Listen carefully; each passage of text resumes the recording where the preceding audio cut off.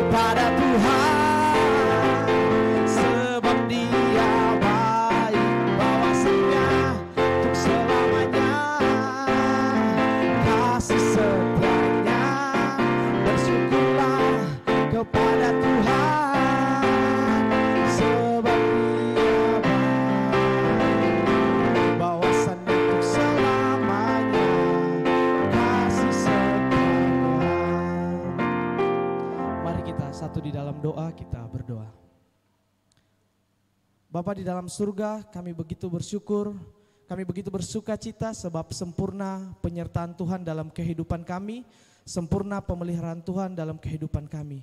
Saat ini ya Tuhan kami berkumpul di tempat ini, kami bersyukur, kami percaya semua karena anugerah Tuhan.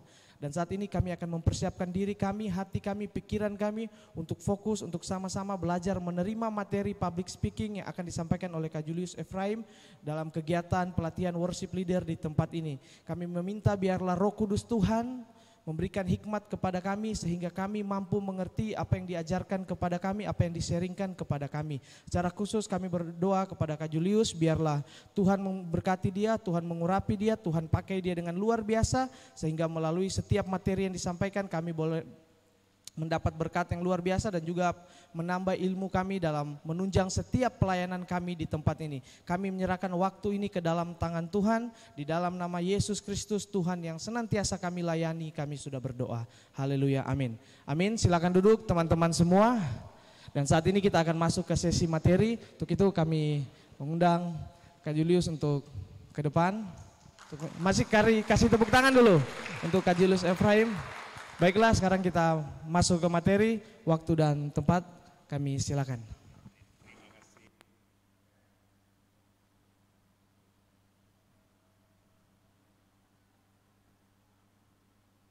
Cek, oke. Okay. Puji nama Tuhan, shalom semuanya. Wah, tidak semangat nih. Shalom.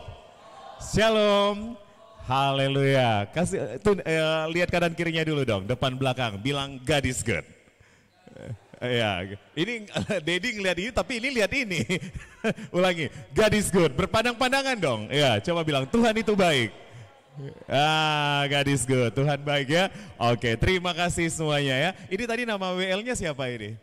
Stephen, salam kenal Stephen ya. Ini saya yang terlalu rapi atau seperti apa ini? Tapi nggak apa-apa ya. Oke, ya terima kasih sekali lagi untuk teman-teman Galilea Youth Ministry. Benar ya sebutannya seperti itu. Ya di Gereja Bala Keselamatan Korps Towa Palu, saya diundang pada malam hari ini untuk uh, bersama-sama dengan kalian sharing seperti apa itu public speaking, seperti apa itu ilmu komunikasi dan seperti apa itu communication skill gitu ya. Saya berterima kasih untuk Kakak Indra yang ada di atas ya yang menghubungi saya. Berterima kasih untuk semuanya karena di sini banyak teman saya ini ada pengantin baru, ada Stanley ya, dan banyak yang saya kenal juga di sini ya, begitu. Katanya tadi ada Rexi ya, ada di mana Rexi? Lagi uh, di luar area. Oke, jadi ada banyak yang saya kenal di sini dan saya percaya kita walaupun saya pun juga um, tidak berasal dari gereja BK, tapi kita adalah satu dalam Tuhan. Ya, kita denominasi gereja. Tapi jangan salah, saya punya darah bala keselamatan. Ya, Opa saya itu opsir atau mayor mua. Ya, tahu ya, mungkin pernah dengar famnya, ya kan? Om Nolimo itu om saya. Ya, mama saya Lydia Mua. Cuman ketika mama menikah dengan papa, papa di gereja Pantai Costa di Gajah Mada, jadi kami di Gajah Mada. Tapi kalau misalnya mama ibadah di BK Korps 1, biasanya saya ikut. Dan berapa kali saya bersaksi di sana. Karena saya uh, kuliahnya di luar ya, baik di luar uh, baik di Jakarta ataupun di luar negeri. Jadi setiap saya pulang ke Palu pada saat itu selalu diminta bersaksi. Ya, jadi saya ini ada keturunan, ada darah BK-nya. Bahkan dulu secara jujur aja, dulu saya harusnya disekolahkan opsir. Harusnya begitu karena tidak ada penerusnya opak. Ya, jadi dari Opa Mua Maramis itu nggak ada penerusnya. Harusnya Kak Julius itu disekolahkan opsir pada saat itu. Tapi ya saya nggak mau pada saat itu. Ya saya nggak mau jadi pendeta. Gitu biarlah jadi pelayan saja ya begitu. Karena kalau udah jadi pendeta, aduh bebannya berat. Gitu ya. Jadi saya ini darahnya bala keselamatannya ada di Korps 1 begitu. Oke. Okay. Um, saya sangat berterima kasih sekali lagi untuk undangan ini dan saya percaya memang hari-hari ini kita butuh yang namanya public speaking ya. Hari-hari ini kita butuh yang namanya communication skill. Hari-hari ini kita butuh yang namanya kemampuan berkomunikasi. Nanti saya akan cerita kenapa kemudian komunikasi itu sangat penting sekali. Ya, kita mungkin mungkin punya skill yang banyak kita punya skill komputer, kita punya skill uh, bola, kita punya skill olahraga, kita punya skill apa pun, tetapi semua itu harus dibalut dengan yang namanya komunikasi. Bayangkan kalau Ronaldo sama timnya tidak ada komunikasi yang bagus, kira-kira Real Madrid itu bisa jadi uh, salah satu tim favorit gak saat ini? Enggak kan? Atau kamu tahu yang namanya pelatih apa Sintayong ya, STY, iya kan? Ketika dia tidak punya komunikasi dengan anak binaannya, kira-kira uh, uh, sepak bola Indonesia bisa bangkit gak saat ini? Gak kan? Nah itu semuanya karena ada komunikasi. Yang menjadi uh, juru bicara atau humas dari G20 atau G20? Ada yang tahu siapa yang kemudian diambil oleh pemerintah untuk menjadi pembicara atau humasnya atau jubirnya G20 yang mau diadakan di Bali? Ada yang tahu? Seorang artis cantik? Ada yang tahu nggak? Maudi Ayunda. Bayangkan ya, trik marketingnya pemerintah Indonesia membuat Maudi Ayunda menjadi jubirnya, menjadi humasnya G20. Tahu G20 ya? G20 akan diadakan di Bali. Kenapa kemudian pada saat COVID-19 Dr. Reisha Broto diminta untuk menjadi public speaker, menjadi public speaking, menjadi komunikatornya? Tahu Dr. Reisha? Tahu ya? Tahu? Ini ikuti nggak perkembangan berita ini? Hah? Adik-adik itu harus ikuti perkembangan berita ya. Oke, yang pertama yang menjadi jubir COVID-19 pada saat itu siapa? Sebelum Reza. Nah, kalau ada yang tahu saya kasih pulsa deh. Siapa? Ayo. Ada yang tahu? Hah? Sebelum sebelum Dokter Reza Broto ditampilkan. Siapa? Udah almarhum orangnya, udah meninggal. Dokter Yuri. Iya kan? Nah pada saat itu ketika dokter Yuri yang tampilannya sudah tua, yang old generation, itu banyak yang nggak percaya, pro kontra tentang COVID-19.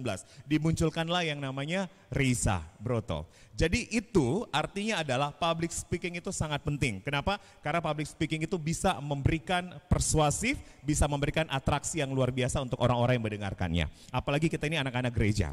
Ya, saya kebetulan juga sangat aktif di gereja di zaman saya, saya pernah jadi ketua pemuda remaja, itu periode empat tahun ya. Kemudian kalau di GPDI saya nggak tahu, kalau di BK apakah ada semacam apa ya namanya? Kalau di Pantai Kosta itu um, seluruh GPDI sekota Palu. BK ada nggak gitu? Ada pengurus besarnya. Nah, jadi saya pernah jadi wakil ketua GPDI sekota Palu pada saat itu. Ya, aktif di worship leader, aktif di singer sehingga saat ini. Cuma untuk worship leader saat ini saya mulai kurangi, gitu. Karena terlalu banyak dunia sekulernya. Saya takut nggak jadi berkat. ya, memang menjadi WL itu memang kadang-kadang ada yang WL di sini selain Stanley. Eh, Stephen? Stephen apa Stanley nih? Stephen, ada yang jadi WL lagi? WL semua, wah luar biasa. Kasih tepuk tangan dulu dong untuk kalian ya. Memang menjadi WL itu kadang-kadang bebannya berat ya. Makanya Kak Julius hari-hari ini mengurangi dulu untuk jadi WL ya. Saya diminta sama Pak Gembala, saya tunggu dulu Pak. Nanti aja dulu saya jadi WL. Karena terlalu banyak manggung di sekulernya. Takut saya nanti, karena begini netizen ini sekarang julid. Bener ya. Nanti dia lihat, wah itu acara joget-joget di sana hari Minggu dia udah WL. Waduh mati aku. Makanya untuk WL saya lagi kurang-kurangi begitu ya. Oke tapi saya percaya apa pun yang kita lakukan itu semuanya untuk kemuliaan nama Tuhan ya. Dan yang secara surprisingly, secara surprise, hari ini adalah saya bawakan yang namanya public speaking di depan anak-anak pemuda remaja gereja. Ini pertama kali loh gereja membuat, beneran. Ya, biasanya biasanya saya itu udah banyak ya. Jadi saya itu udah banyak eh, menjadi pemateri di berbagai instansi ya, dokter, guru, anak mahasiswa, Bank Indonesia, di perbankan, di mana saja. Bahkan ada satu cerita saya menjadi atau membawakan materi public speaking itu di mana? Di lapas, di narapidana. Ya, ngeri nggak bawa acara public speaking di depan napi? Kamu tahu napi ya? Ini orang-orang yang di penjara, saya ditelepon sama kalapas, kepala lapas, Pak Julius bisa nggak bawa public speaking di lapas kelas 2 AP Tobo, tuh yang di Dewi Sartika. Saya keringetan pada saat saya ditelepon. Saya bilang apa yang harus saya bawakan begitu. Ini mereka semuanya di penjara, mereka semuanya dengan berbagai permasalahan, mereka semuanya dengan berbagai beban hidup. Terus saya datang saya mau bawa public speaking. Aduh, itu kan mereka hari-hari di sel.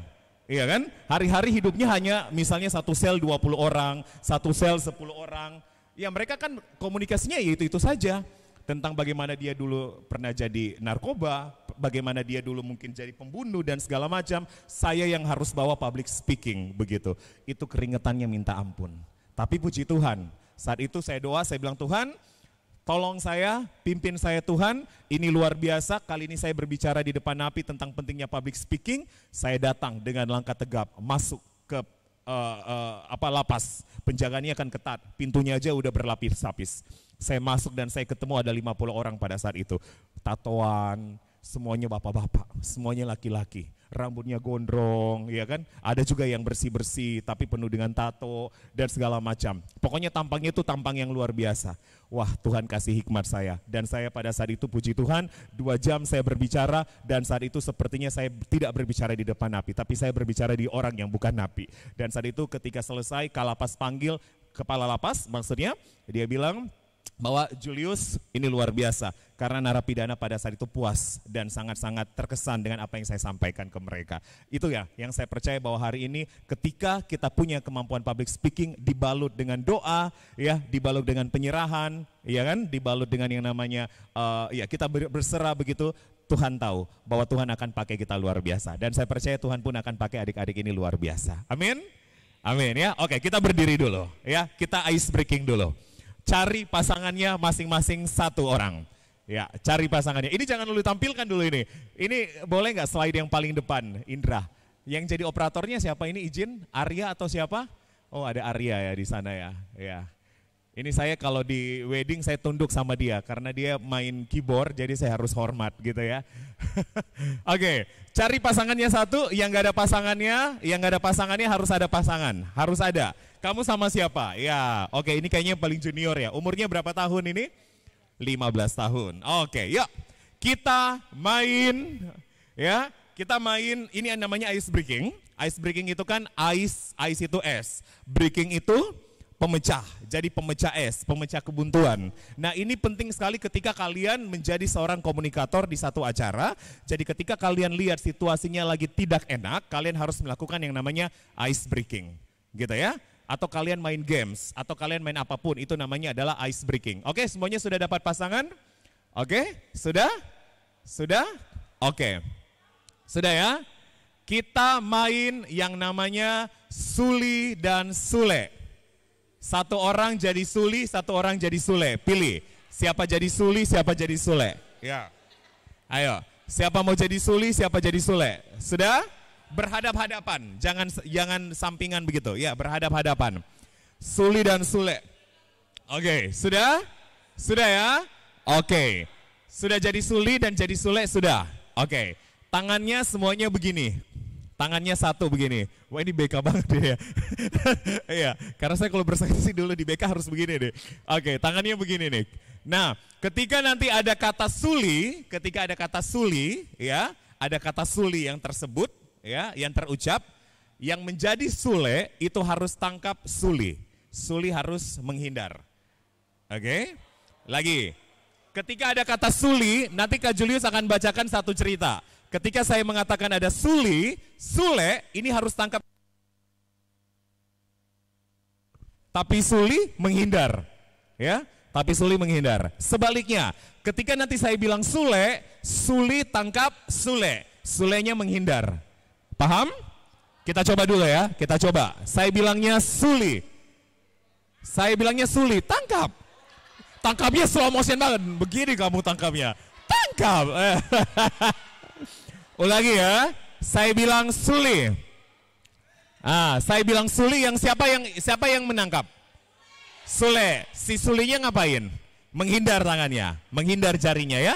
Jadi jarinya jangan di belakang, jarinya jangan di sini, tapi jarinya begini terus. Oke, kita fair ya. Yuk, kita mulai dulu. Suli. Ah, oke. Lagi sebaliknya, Sule. Oke, sekarang, oke, sekarang dalam narasi. Ya, sekarang dalam satu cerita.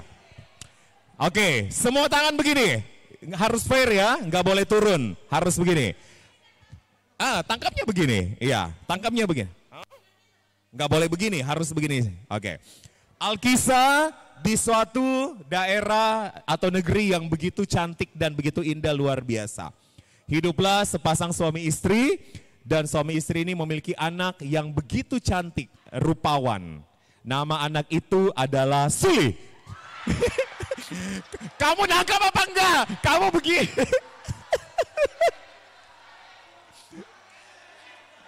Hei, kalian berdua jangan terlalu slow motion. Yang satu begini, yang satu begini. Coba yang lebih gercep begitu, yang limpak begitu ya.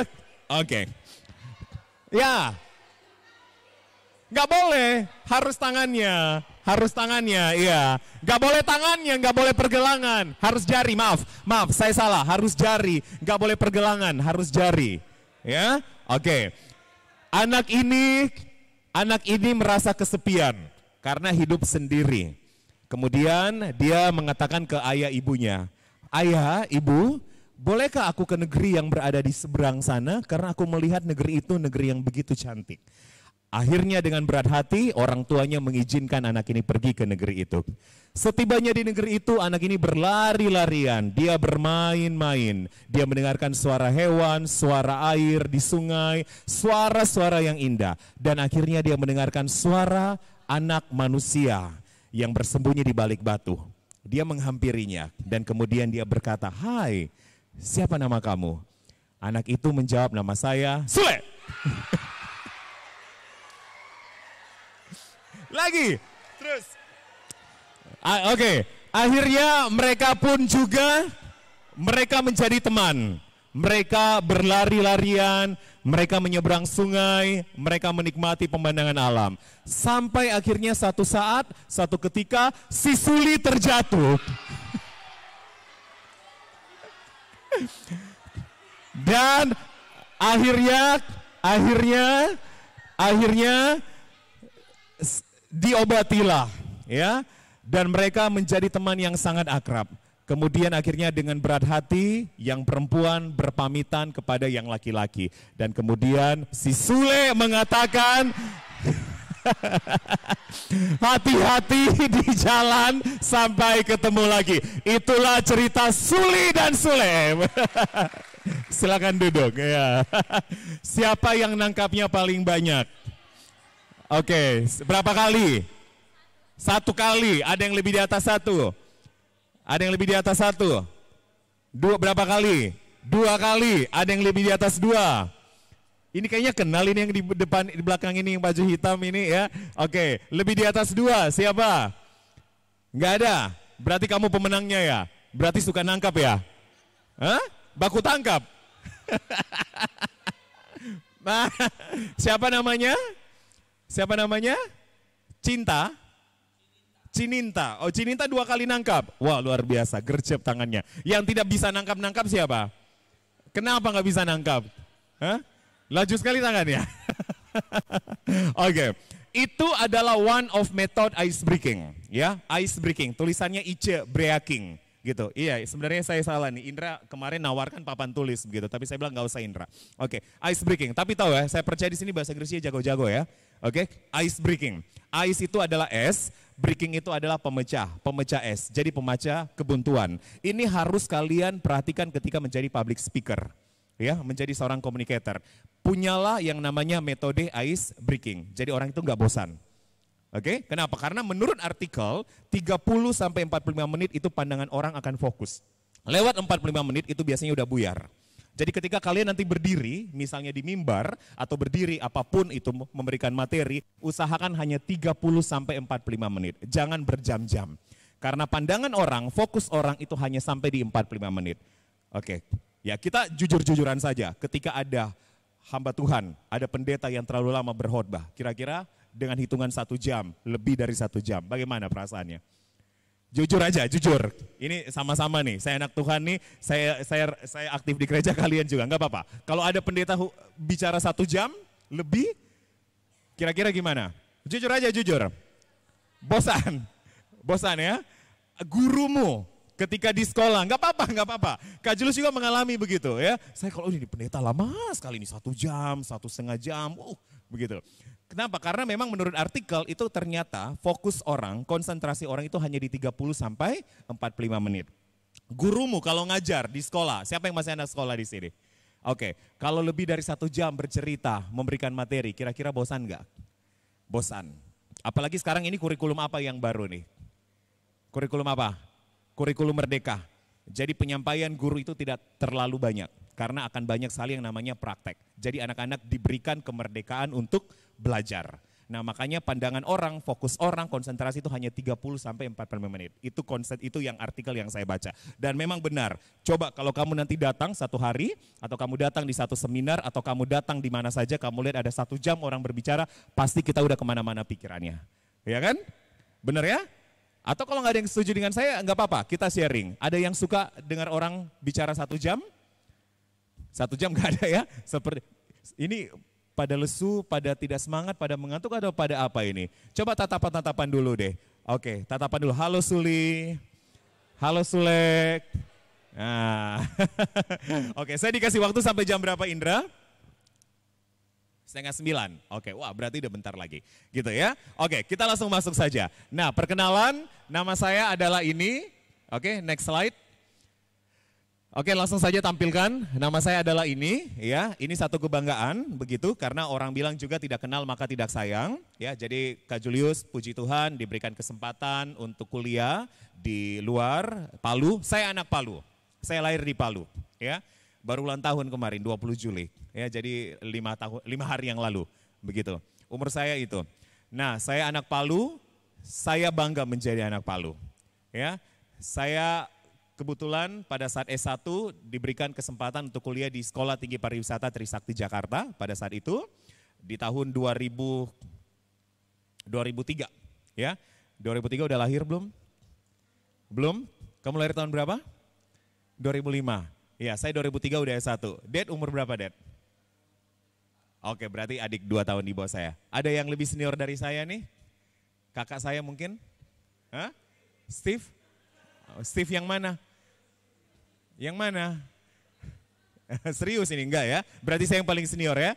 Oke, yang kepala-kepala tiga selain Kak Dedi siapa lagi? Boleh angkat tangan? Oke, ya nggak apa-apa ya. Umur itu kan satu anugerah dari Tuhan, ya kan? Jadi yang lain ini kepala dua. Oke, di umur dua di tahun 2003 saya udah selesai eh 2007 saya udah selesai S1 ya di Sekolah Tinggi Pariwisata Trisakti Jakarta. Kemudian akhirnya saya pulang Palu walaupun sebenarnya pernah kerja di Jakarta di perusahaan-perusahaan ya pernah pun juga ditawarkan untuk ke Kementerian Pariwisata tapi saat itu saya tolak. Nggak tahu hati saya itu hatinya di Palu. Begitu ya. Hatinya selalu di Palu. Makanya tadi cerita saya, saya pernah mau disekolahkan opsir pun juga di luar kota. Saya nggak mau, saya maunya hanya di Palu saja. Nggak mau ke mana-mana. Enak Palu itu bagi saya. Ya kan, sampai hari ini saya merasakan kenikmatan enak hidup di Palu, nggak macet, lifestyle-nya nggak bagaimana-bagaimana, ya kan, mau cari apa pun juga gampang, begitu. Kemudian S2, saya 2012, saya S2 di Sekolah Tinggi Pariwisata Trisakti Jakarta lagi, kembali lagi. Kalian kalau pernah dengar kata Trisakti, ini tahu yang demo-demo dulu? Ya, yang angkatan 30 ini pasti tahu. Ya, anak-anak 19 tahun, 20 tahun saya nggak tahu, tahu apa enggak. Tapi Trisakti itu pernah ada kasus yang menurunkan Presiden Soeharto pada saat itu. Itu pusatnya di Trisakti, yang mahasiswanya itu demo-demoan. Tapi saya nggak mengalami itu. Ya, itu itu kakak uh, senior di atas saya. Jadi kalau kalian searching di Google, kampus Trisakti itu kan salah satu kampus paling terkenal di Indonesia. Yang tapi saat ini ratingnya udah turun. Kalau dulu Trisakti itu terkenal sekali. Banyak Chinese di situ. Ya, jadi kalau kalian tahu krisis moneter 97 98, tahu nggak ini? Cerita ini. Tahu? Dedi nggak usah ngomong, pasti Dedi tahu nih. Yang lain tahu nggak? Kamu tahu? Yang anak lahir 2005, tahu? Nggak tahu ya? yang kamu tahu apa? Hah? Ukraina Rusia. Nah itu yang kamu tahu ya. Kalau dulu kita udah menikmati tuh 97-98 krisis moneter, ya anak Trisakti itu yang paling demo. Nah itu kampus saya. Kemudian akhirnya 2013 saya ditawarkan lagi untuk melanjutkan double degree S2 di Bangkok. Ya saat itu ada dua pilihan sebenarnya, ada Swiss, ada Bangkok. Saya harusnya ke Swiss, tapi udahlah ada orang dalam yang lebih berkuasa pada saat itu, jadi nama saya tergeser ke Bangkok. Jadi tidak ke Swiss. Padahal begini saya udah injak Swiss nih, ya kan? Yang tempatnya uh, almarhum Eril meninggal.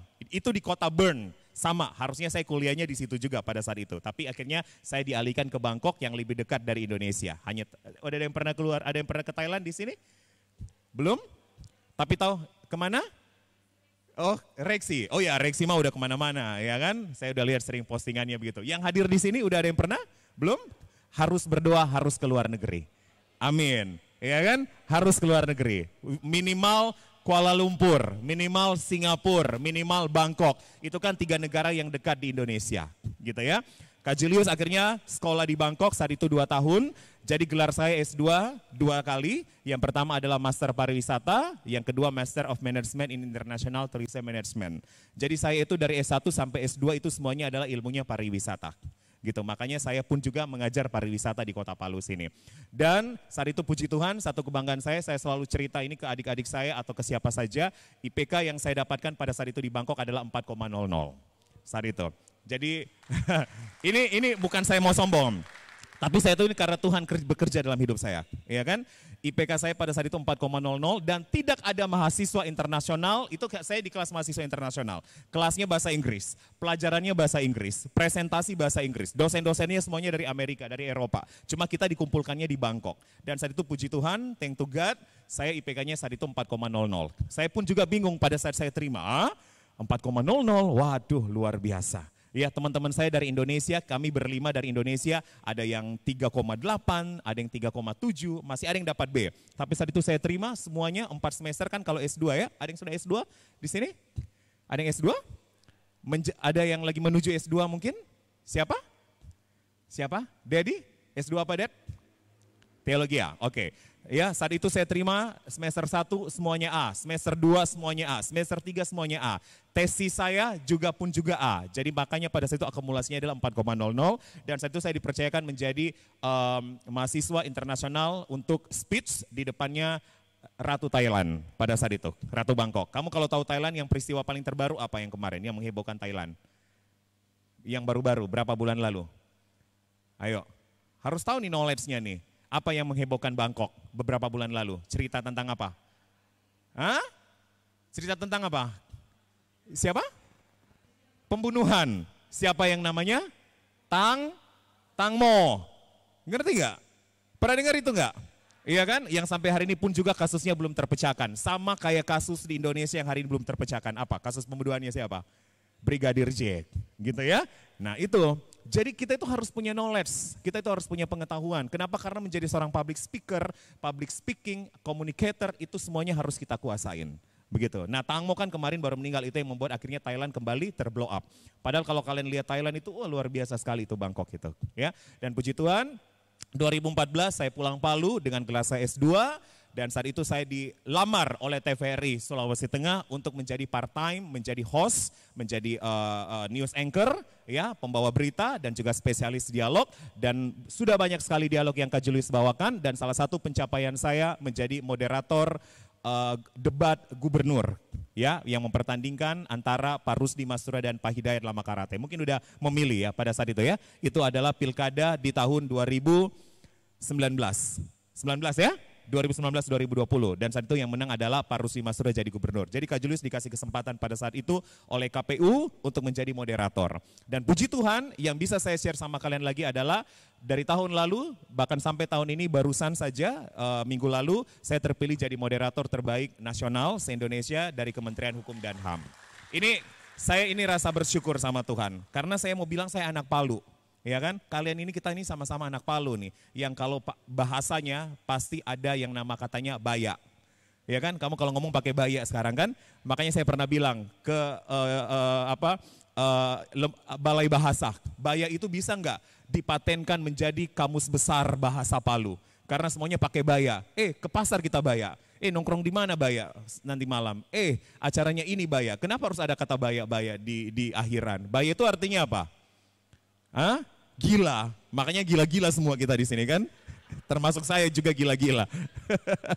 Kalau nggak bayar apa? Ada lagi satu. Ayo, yang muda-muda. Kalau nggak bayar apa? Do? Doyo. Nah itu, kalau nggak bayar doyo. Mau ke mana kok doyo? Nah, doyo itu artinya apa? Bodoh. Makanya ya kita begini-begini saja ya. Oke, tapi we love Palu. Oke? Kita tahu bahwa Palu itu adalah kota yang pun juga menjadi salah satu kota yang luar biasa untuk kegerakan rohani. Benar seperti itu ya? Kita lihat anak muda di Palu itu luar biasa. Bahkan saya bocorkan saja ini, saya bocorkan 9 dan 10 Desember akan ada konser Natal rohani di Palu Grand Mall. Saya nggak tahu ini bocor nggak di gereja, Arya nggak tahu. Saya udah, tapi itu lagi dipersiapkan. Dan itu puji Tuhan akan diadakan di Palu Grand Mall nanti tanggal 9 sampai 10 Desember. Ya, Ya, karena saya sudah di booking untuk menjadi MC-nya. Kalau kita kemarin lihat video viral yang ada di Manado, lihat nggak video viral yang di Manado? Yang orang menyanyi konser di Mantos, lihat nggak? Lihat ya, ini anak-anak TikTok kan? Anak-anak TikTok kan? TikTok itu jangan salah loh. Saya dulu nggak suka TikTok, tapi hari-hari ini saya suka TikTok karena TikTok itu sumber informasi yang paling cepat. Ya kan? Sekarang itu kan TikTok dipenuhi dengan yang namanya kalau nggak Brigadir J, apalagi? Slebe. apa Citayam, apa lagi Bonge, apa apa yang cewek, yang cewek siapa? JJ, ya kan? Saya barusan minggu lalu dari sana. ya. Dan saya melihat memang luar biasa. Ya luar biasa itu kalau ada yang sering ke Jakarta itu stasiun Duku Atas, ya jadi ada zebra cross, mereka nyebrang-nyebrang di situ aja. Itu Citayam Fashion Street jadi lagi viral dan di TikTok itu lagi terblow up semuanya. Jangan-jangan di TikTok nonton apa ini kalau di TikTok? Hah? Kamu di TikTok nonton apa? Kamu artis, kamu anak TikTok nggak? Enggak. Kamu anak TikTok nggak? Nonton apa di TikTok? FYP kamu apa FYP? Hah? Jedak, jedak jeduk? JJ. Oke. Ini enggak suka TikTok. Dedi apa, Ded? Dedi apa, Ded? Hah? Hah? Yang sebelah sini, kamu an anak TikTok nggak? Maksudnya gini, anak TikTok itu bukan yang main TikTok loh, tapi yang suka buka TikTok, suka scroll up TikTok. Biasanya FYP-nya apa? Boleh buka maskernya? Apa FYP-nya? Hah? Oh dance yang lagi viral. Kamu? Gak suka? Di sini siapa lagi yang suka buka TikTok? Hah? Yang mana tirus? Ya ini, iya suka buka TikTok. Apa yang F, ya jadi FYP-nya? Oh rohani, yakin. FYP-nya katanya lagu-lagu rohani. Puji Tuhan ya. Oke. Puji Tuhan ada satu orang yang jadi terang di sini ya. Oke, okay. tapi nggak apa-apa ya. Ini saya agak ngeri-ngeri nih bicara public speaking di depan anak-anak gereja ini. Karena baru pertama kali ini uh, satu gereja atau satu persekutuan anak muda itu yang mengundang untuk public speaking. Makanya saya bilang ke Indra, Indra kita samakan pemahaman saya, pemahaman kita bersama. Saya tidak akan membawa public speaking secara rohani begitu. Ya kan, karena ini kan materinya ada yang worship leader, ada apa lagi? Selain public speaking ada apa lagi materinya? Hah? Apa? Apa? Liturgi, apalagi? Ibadah yang sejati, ibadah yang sejati. Iya. Oke, ini materi keberapa? Ah, yang pertama apa yang pertama? Kekudusan. Kedua? Kedua? Lupa. Hah? Apa? Teknik vokal. Ketiga? Ibadah sejati, keempat public speaking. Makanya saya bilang Indra, kita telepon-teleponan, Indra tolong disamakan mindsetnya adalah bukan public speaking secara, artinya bukan secara gereja, tapi public speaking secara umum, sekuler, begitu. Karena pun juga di gereja itu butuh yang namanya public speaking. Tapi saya tidak akan sangat detail ke rohaninya begitu, karena kalau saya disuruh bawa eh, yang begitu, saya ngeri-ngeri juga. Ya, banyak kali Kak Julius itu diminta menjadi entrepreneur, bukan entrepreneur sih, interpreter, sorry, interpreter, penterjemah, kalau ada orang khotbah bahasa Inggris ke Indonesia atau Indonesia ke Inggris saya ngeri. Kenapa? Karena kalau saya begitu sama juga dengan saya berkhotbah. Begitu ya, jadi agak-agak ngeri memang kalau kita berdiri di mimbar. Ngerinya dalam artian maksudnya memang bebannya berat. Tapi ketika kita melayani dengan hati, melayani dengan Tuhan, melayani dengan kekudusan, itu semuanya akan berjalan dengan baik. Setuju? Oke, ini semuanya terlibat dalam pelayanan kan? Apa saja di sini dalam pelayanannya apa saja? WL, musik, apalagi? Penari, apalagi? Ada yang biasanya berkhotbah sudah? Yang mana? Wah wow, luar biasa, ya kan? Oke, sudah sering naik mimbar berarti? Arya pengkhotbah, wah mantap. Ya berarti balance antara uh, dunia wedding sama di gereja, begitu ya. Ini anak-anak wedding kan banyak di sini nih ya. Saya sering ketemu sama orang-orang BK begitu kalau wedding. Oke, kita lihat langsung. Nah, ini yang namanya komunikasi itu harus dibangun dengan persuasif dulu. Persuasif itu artinya bujukan, rayuan. Ya, kalau kita mengatakannya biasanya shalom. Orang pasti akan menjawabnya dengan kata shalom. Kalau orang muslim, assalamualaikum. Ya kan? Sudah ada yang pernah jadi MC di sini? Ada yang punya pengalaman MC? Ada Gladys? Hah? Oke, kalau Gladys ini yang paling saya suka adalah kuenya enak sekali. Ya, berapa kali saya coba makan kuenya. MC sudah Gladys, beneran? Satu kali. Satu kali, oke. Okay. Nah ketika nanti kalian jadi MC, itu salam keagamaan harus kalian kuasain. Oke, okay? ini langsung praktek saja ya. Oke, okay. biasanya ini kalau di gereja yang nggak mungkin kita bilang assalamualaikum. Nggak mungkin dong, harusnya shalom. Tapi siapa tahu ada yang berkarir di dunia sekuler juga. Ya berarti harusnya bilangnya apa? Assalamualaikum warahmatullahi wabarakatuh. Kemudian selamat pagi, siang atau malam, salam sejahtera, shalom. Kemudian salam keagamaan yang ketiga apa? Om Swastiastu.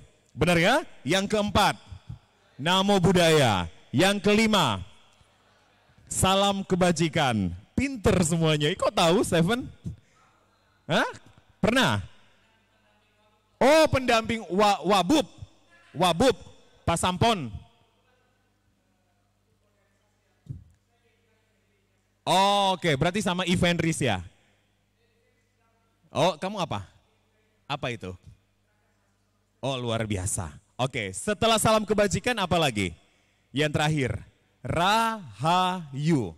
Itu, itu salam keagamaan. Jadi nanti ketika kalian jadi MC, ya siapa tahu ini generasi saya nih, regenerasi saya. Ya, jadi Assalamualaikum warahmatullahi wabarakatuh. Salam sel selamat pagi, sore, malam, siang.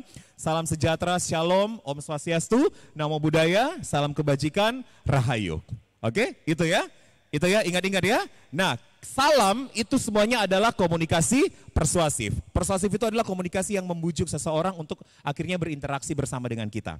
Kalau kita masuk pintu kita toki kan, kita ketok kan, sepada, anybody home, gitu ya. Salam, assalamualaikum. Nah itu namanya komunikasi persuasif. Itu harus diawali dulu yang namanya komunikasi persuasif. Itu. Nah ini ada beberapa contoh. Ketika kita ingin berkomunikasi persuasif, menanyakan apa kabar, ya kan? Oke, biasa kan kalau kita kan begitu, ketemu pertama kali begitu. Halo, apa kabar bro? WhatsApp bro? Apa kabar sis? Apa kabar bestie? Sekarang kan kalau cewek-cewek istilahnya adalah apa? Bestie, brother, apa kabar? Kemudian, nihao. Nihao ini bahasa apa? Hmm, bukan Korea. Nihao bahasa apa? Cina. Kemudian hai. Hai ini universal. Sawadi. Thailand. Nah itu bahasa saya dulu. Dua tahun saya di sana. Suara saya dulu jadi cempreng. Ya kan? Ada yang suka film Thailand di sini? Suka? Suka? Suka ya? Itu coba lihat kalau cowoknya ngomong. Bagaimana? Alewa. Hah? Sawadika, pi, tolong kap. Nah, begitu kan, itu orang Bangkok tuh suaranya cempreng. Saya dua tahun hidup di sana, suara saya jadi cempreng begitu. Terus, eh terus, anyong. Ah, kalau bilang ini pasti semua tahu nih. Dari mana ini? Ada, ya ini penggemar Korea. Korea sekarang menjadi industri perfilman terbesar yang ada di dunia. Ya, dan mungkin digadang-gadangkan akan menyaingi yang namanya Hollywood. Bahkan sudah menyaingi karena pernah menang Oscar. Ya, oke, kalian harus tahu ya yang suka film Korea, pernah menang Oscar nggak film Korea? Tahu Oscar nggak? Apa itu Oscar? Penghargaan industri perfilman paling tertinggi sedunia. Ya kan? Film Oscar tuh menang. Yang menang adalah dari Korea. Ya kan? Dulu kan Hollywood. Kemudian pada saat itu Hollywood disaingi sama Bollywood, India. India pada saat itu merajai. Di tahun 1998 muncullah film yang namanya Kuts Kuts Hotahe yang kemudian jadi viral. Akhirnya Syahrukan hari ini menjadi bintang Bollywood, ikonnya Bollywood bersama Kajol. Nah saat ini kemudian mulai bergeser ke yang namanya film-film dari Korea. Artis kamu siapa aktor kamu? Hah? Siapa? Kim Jong. Hah? Siapa? Sintayong. Tahu nggak Sintayong? Hah? Siapa? Ayo, katanya suka Korea. Saya mau adu nih. Saya nggak suka Korea, tapi nama-nama aktor aktris Korea saya tahu nih. Kamu siapa? Yang kamu tahu? Yang suka Korea siapa dulu? Coba angkat tangan. Yang suka Korea siapa yang suka drakor? Mana? Kamu siapa artisnya kesayangan kamu? Oh, Lee Min Ho. Oke. Ya, siapa lagi? Hah? Siapa lagi? Lah, berarti nggak suka Korea ini. Hah? Korea Utara, Kim Jong Un berarti. Ya. Ada yang punya impian berwisata ke Korea Utara? Hati-hati ya. Katanya itu kalau masuk Korea Utara itu wah, tegang begitu ya. Oke, berarti yang lain ini suka film apa? Drama apa? India. Yang India siapa yang India? Kamu suka India? Oke. India itu adalah satu industri perfilman yang komplit menurut saya. Karena kenapa? Karena ada tarian, ada lagunya, dia tetap menggunakan sari, budayanya dia tetap akan ada kuil, dia tetap berdoa, dia tetap sembahyang. Itu film India begitu tuh. Ya, beda sama film yang lain. Oke, film Thailand ada yang disukai? Siapa aktor aktrisnya? Jirayut? Enggak tahu? Siapa? Hah? Atau yang lain nggak pernah nonton film? Nontonnya apa? Kamu nonton apa, Stan? Nont film Kylie. Oke okay, ya, itu ice breaking ya. Terus Jambo, belum belum belum. Belum. Jambo ini Meksiko, hello, aloha, aloha dari mana? Aloha dari mana? Dari mana aloha? Hawaii. Ya kan? Negara bagian ke-50 yang ada di USA. Bonjour. Prancis. ya kan? Ya, sudah ada yang pernah ke Perancis di sini? Belum? Oke, Paris, Parigi Selatan, sering ya? Jiao, Cina juga. Guten, Guten dari mana? Jerman. Sudah yang pernah ke Jerman di sini? Belum? Ada yang pernah ke Jerman yang sering bolak-balik Jerman? Ada yang tahu siapa? Bolak-balik Jerman Indonesia. Ragil. Kamu fansnya Ragil ya? Saya tahu FYP TikToknya pasti tentang Ragil. ya, tapi gini loh, gini loh. Kita kan nggak boleh menghakimi ya, sesuai dengan firman Tuhan ya, gitu ya. Apa Ragil itu saya suka nonton dia. Positifnya adalah apa? Dia biasanya uh, apa tuh punya pekarangan. Biasa dia itu panen-panen hasil rumahnya. Biasa dia itu masak-masak, begitu ya. Nah, tapi itulah. Ada yang tahu Ragil? Adik-adik tahu Ragil semua? Tahu ngefans sama Ragil? nggak, jangan menceritain orang, nggak boleh, nggak boleh giba. Oke, okay, next slide. Oke, okay. public speaking itu tanda panahnya adalah komunikasi. Berarti public speaking itu sama juga dengan berkomunikasi. Public itu umum, speaking itu berbicara. Berarti berbicara di depan umum. Berarti ketika kita berbicara di depan umum itu berarti berkomunikasi. Mulai dari atas rambut sampai ujung kaki itu semuanya harus menceritakan, harus bertutur kalau orang Kaili bilang. Harus menyampaikan sesuatu. You have to deliver your message. Bagaimana kamu pegang mikrofon, pegang mikrofon kan ini harus ada tekniknya nih, gitu. Ya kan? Harus tangannya kuat, boleh begini, sebenarnya fleksibel. Mau begini, mau begini, tapi yang paling diukur itu adalah ketajaman suara ini suara saya besar, makanya mikrofon saya itu nggak boleh dekat. Tapi ketika ada suara yang halus, mikrofonnya pun juga harus lebih dekat. Mungkin di teknik vokal diajarin. Diajarin nggak? Diajarin. Oke, ada berapa? Berapa meter antara mikrofon sama mulut? Berapa jari? Begini. Berapa? Dua. Berarti begini. Ayo, kan udah dapat teknik vokal nih. Bagaimana? Lupa. Dua, satu jari. Dua, duanya bagaimana? Begini. Begini. Oke, begini berarti kalau menyanyi ya. Oke? Iya, nggak apa-apa. Itu itu adalah teknik. Iya kan? Dan emang benar, cara kita megang mikrofon itu menentukan kita. Cara kita menguasai uh, uh, sorry, apa namanya menggerakkan tangan, menggerakkan mata, itu semuanya adalah teknik. Dan yang harus kalian pelajari nanti adalah, ini sayang waktunya hanya sampai setengah sembilan begitu, tapi yang pasti body language kalian harus bermain. Apa itu body language? Bahasa tubuh. Ya, kalian harus berdiri di mimbar itu harus yang namanya confidence, harus percaya diri. Critical time, ya waktu kritis ketika memulai suatu uh, uh, pembicaraan atau satu pembukaan opening itu di tiga menit. Ya, tiga menit pasti jantungmu berdebar-debar. Duh, tek, tuk, tak, tuk, tak, tuk. Itu makanya harus butuh yang namanya confidence dan well preparation. Preparation yang baik, yang cukup dan confidence. Percaya diri. Kenapa? Karena ketika kalian buka sesuatu, openingmu sudah gagal, itu biasanya ke belakangnya pasti gagal.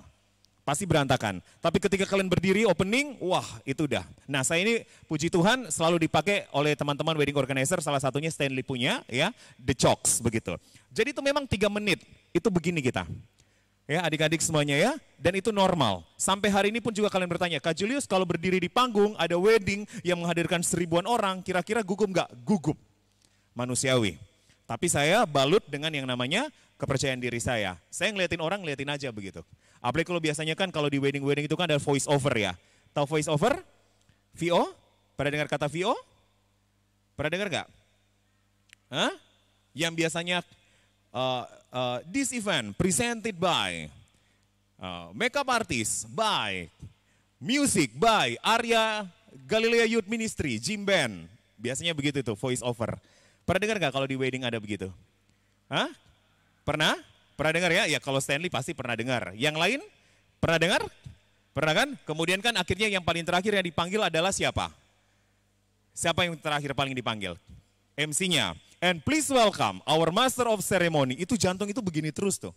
Tapi ketika kalian naik, selamat malam hadirin yang berbahagia. Saya Julius Efrain mengucapkan selamat datang di Meriglow Convention Hall. Itu tiga menit, tapi ketika kalian lurus di situ, ujung-ujungnya pasti akan lurus. Tapi kalau kalian sudah berantakan di situ, ah, pasti berantakan di akhir.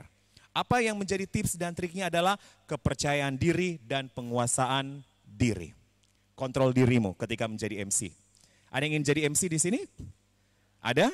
Boleh angkat tangan yang ingin menjadi MC? Boleh angkat tangan? Nggak ada? Kalau nggak ada berarti saya pulang nih, nggak ada yang mau jadi MC soalnya. Hah? Nggak ada? Jangan salah, dunia MC itu bisa memberikan yang namanya uang yang banyak untuk kalian. Ya, gitu. Oke lah, kita nggak usah ngomongin yang yang yang apa, yang ibu kota. Saya dulu waktu mau merit, ya ini cerita aja. Waktu mau merit, saya coba-coba hubungi yang namanya Coki Sitohang. Karena saya ngefans banget sama dia. Tahu Coki Sitohang ya? Dan ternyata manajernya kirim ke email saya, berapa proposal yang harus saya bayar kalau mau pakai dia? 100 juta. Itu sudah standarnya sana, ya kan? 100 juta untuk bahannya bayar Coki Sitohang. Nah di Palu itu kita mainnya mungkin di angka 2, 1,5, 2. Tapi kalau kalian hitung berkali-kali itu bisa membawakan uang, bisa membawakan berkat bagi kalian. Tertarik jadi MC? Tertarik? Tertarik? Tidak tertarik? Mau jadi apa Dan? Jadi bridesmaid atau yang jadi pegang ini saja, konfeti itu yang yang yang orang wedding kiss yang akhirnya menyala. Eh, pegang gitu saja. Pegang itu nggak dibayar kamu. Nggak ada yang mau jadi MC di sini? Hah? Nggak ada yang mau jadi news anchor? Pembawa berita? Nggak ada? Ada nggak? Kamu kayaknya ada ya, matanya berbicara soalnya ada.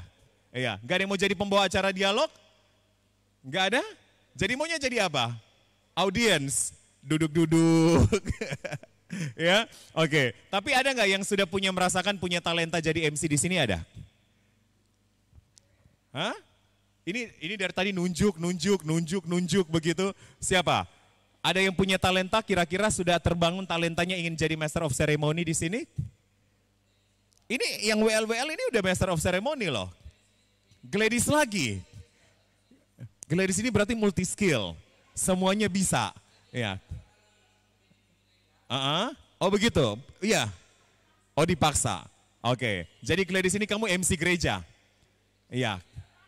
Sesekali. Tapi itu udah jadi modal loh sebenarnya. Yang adik-adik di sebelah kiri saya, sudah pernah ada yang coba jadi MC? Teguh yang mana Teguh? Teguh yang mana?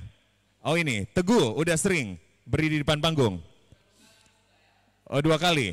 Oke, boleh buka maskernya Teguh? Iya. Teguh, critical time kamu biasanya berapa menit kamu rasakan? Selama acara. Bisa ya kamu dapat ya, selama acara. Jadi critical time itu biasanya tiga menit aja, jantung berdebar. Tapi setelah itu udah biasanya udah enak. Benar ya, kalau mau jadi WL, mau naik mimbar berapa menit biasanya, Stefan? Sekitaran itu. Ya kan? Tapi kalau udah bilang shalom, haleluya, selamat datang, selamat beribadah, itu biasanya udah lurus ke sana. Gitu ya. Oke, okay, next. Terus, public speaking itu adalah, ayo next. Ya, proses memberi, menerima atau bertukar informasi, pendapat, perasaan atau ide melalui perkataan, tulisan dan alat-alat peraga atau melalui kombinasi ketiganya. Jadi yang namanya public speaking komunikasi itu adalah memberi dan menerima. Oke? Okay? Kita nggak bisa hanya memberi, tapi kita pun juga harus menerima. Makanya ada yang bilang kita harus menjadi yang namanya good listener. Apa itu good listener? Pendengar yang baik. Oke, okay? ketika kita memberikan informasi, kita pun juga harus mendengarkan informasi itu. Apa yang kita lakukan diberikan informasi? Belum, kembali lagi. Oke, okay? ya, adalah informasi, pendapat, perasaan atau ide melalui perkataan, tulisan dan alat-alat peraga. Nah, ini informasi ini melalui apa nih? Perkataan kan? Kalau dalam teknik komunikasi kita sebut dengan verbal communication. Kalau komunikasi tertulis kita sebut dengan apa? Written communication. Kalau komunikasi yang menggunakan alat-alat peraga itu biasanya di ekskul mana? Ayo yang anak-anak sekolah. Menggunakan alat-alat peraga itu biasa di ekskul mana? Anak sekolah? Gak ada anak sekolah di sini? Hah? di ekskul mana yang biasanya pakai alat peraga? Ayo, yang sudah lulus sekolah? Pramuka. Oke, pramuka pakai apa? Semafor. Ini jangan-jangan gak ikut ekskul ya? Ekskul kamu apa? Paski. Oke. Apalagi yang yang biasanya ekskul ekstrakurikuler yang menggunakan alat peraga selain pramuka? Hah? Tari. Apa alat peraganya? Oke, ya, ada pita-pitanya ya. Apalagi? PMR pakai alat peraga enggak? Pakai. Mayoret, uh, sorry apa itu? Drum band pakai alat peraga enggak? Di sini ada, ada yang ikut drum band enggak di sini? Marching band. Nah itu ada. Ya kan kalau mayoret angkat begini artinya apa? Kalau diangkat tongkatnya? Hah? Apa? Coba buka masker, boleh? Soalnya kamu bicaranya pakai masker, saya gak dengar. Apa begini? Yang lain ikut ekskul apa di sini? Kamu ekskul apa? Ekskul apa? Hah? Oh udah kuliah. Iya dulu waktu SMA-nya pernah ikut ekskul apa? Hah? PMR. Oke, ada alat peraga apa PMR? Tandu. Tandu kan? Di sebelah kiri, ikut ekskul apa? Saya penasaran nih, soalnya saya tanya, kayaknya nggak ada yang pernah ikut ekskul nih. Hah? Musik bambu? Yang mana musik bambu?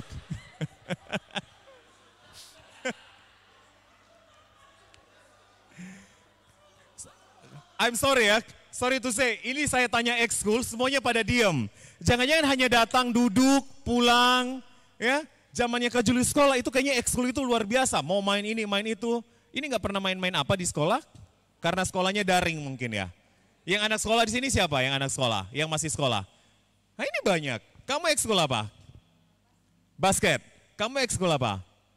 Coba buka ini. Oh belum masuk ekskul. Kamu? Belum. Kamu?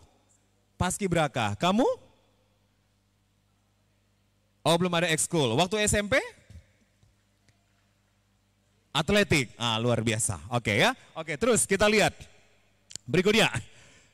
Agak lambat ya PowerPoint-nya ya. Public speaking adalah menyampaikan informasi kepada hal yang resmi dengan cara yang menarik dan harus mendapatkan umpan balik. Public speaking yang bagus itu adalah harus mendapatkan yang namanya feedback. Ya, harus ada respon. Nah, saya lihat dari tadi respon kalian sampai hari ini masih terjaga. Makanya selalu orang bilang adalah ketika menjadi public speaker, jangan menjadi one way communicator. Harus menjadi two way communicator. Apa itu artinya? Komunikasi dua arah. Apalagi kalau jamnya hanya jam sampai setengah sembilan, tidak boleh kita menjadi one way communicator. Beda, kalau saya dikasih waktu tiga jam, mungkin satu jam, 45 menit saya bicara dulu. Saya berceramah dulu. Setelah itu kita two way. Karena ini waktunya mepet, jadi saya harus menjadi langsung two way communicator. Kenapa harus mendapatkan umpan balik? Dan umpan balik itu saya lihat dari mana? Dari eye contact kalian. Eye contact kalian masih hari sampai detik ini masih terjaga dan saya sangat berterima kasih untuk itu. Ya, tidak ada yang kelihatan mengantuk, ya, walaupun sedikit capek mungkin habis pulang sekolah, pulang kuliah, pulang kerja, tapi eye contactmu itu masih terjaga. Nah, kalian pun juga begitu. Ketika berdiri di depan harus melihat yang namanya eye contact audience. Ya kan? Ketika eye contactnya audiens sudah bermain, apa yang harus kalian lakukan? Ice breaking lagi. Kedua, apa yang harus kalian lakukan? Kasih dia pertanyaan. Nah makanya tadi ini saya bertanya-tanya sama eye contactnya yang sudah mulai ke mana-mana. Itu teknik public speaking. Ya kan? Tapi nggak mungkin dong ketika ada di mimbar lagi pimpin pujian WL. Hari ini ada eye contactnya. Oh saya mau tanya dulu yang sana. Nggak mungkin, itu beda lagi ya. Beda, itu beda. ya Beda. Makanya Kak Julius bilang sama Indra, Indra kita sama-sama memahami bahwa materi hari ini saya tidak materi kerohanian. begitu Materi secara sekuler. Ya, artinya ini kalian bisa pakai di mana saja. Tapi ketika jadi WL nggak mungkin dong ada ibu-ibu, tante-tante yang somanganto hari ini. Eh ibu, bagaimana ibu? Kenapa? Nggak mungkin lah ya kan? Itu. Oke, harus mendapatkan feedback. Pernah pacaran ya? Pernah pacaran? Pernah kan? Kalau lihat pacar itu lihatnya dari mana? Mata. Bagian tubuh yang paling tidak bisa bohong adalah bagian tubuh yang paling tidak bisa bohong adalah mata. Mata itu berbicara. Jadi ketika kalian menjadi public speaker, communicator, matamu harus berbicara. Oke? Okay? Matamu harus terang. Iya kan? Kamu kalau ngomong sama pacar bertatap-tatapan enggak? Atau satu begini, satu balik begini? Enggak ada ya, kita bertatap-tatapan ya. Kamu lihat enggak mata pacar kamu? Kalau mata pacar kamu ke mana-mana, berarti dia lagi berbohong. Woi paling kuat siapa tadi itu? Ada pengalaman ya? Ya, ada pengalaman ya Gladys? Kalau mata pacarnya bermain-main berarti ada yang disembunyikan sama dia. Tapi kalau bertatap-tatapannya secara dalam, nah berarti ada perasaan cinta pada saat itu. Begitu juga yang sudah kawin, sudah bersuami, beristri. Ada yang sudah merit di sini? Ya, selain Stanley, oke. Okay. Ada lagi? Ada yang mau sudah? Ada yang mau menjelang pernikahan? Gladys, saya dapat bocoran katanya kakak yang di atas sana katanya menjelang hari bahagianya ya. Katanya sih ya. Katanya. Ha ada bocoran, ya kan? Kita ini kan netizen julid kan, begitu. Oke, bener nggak? Bener ya? Oke, betul ya? Yang lain sekolah dulu, yang lain belajar dulu. Ya, usia pernikahan itu yang cowok di berapa kalau menurut hukumnya Indonesia? 25. Yang perempuan 21 ya, nggak usah dulu. Karena kalau udah masuk dalam dunia pernikahan suami istri, wah itu gregetnya luar biasa. bagaimana Stan? Ya, bagaimana kalau sudah jadi suami istri? Ya, komunikasi itu harus intens ya. Salah komunikasi saja habis. ya kan? Gitu ya.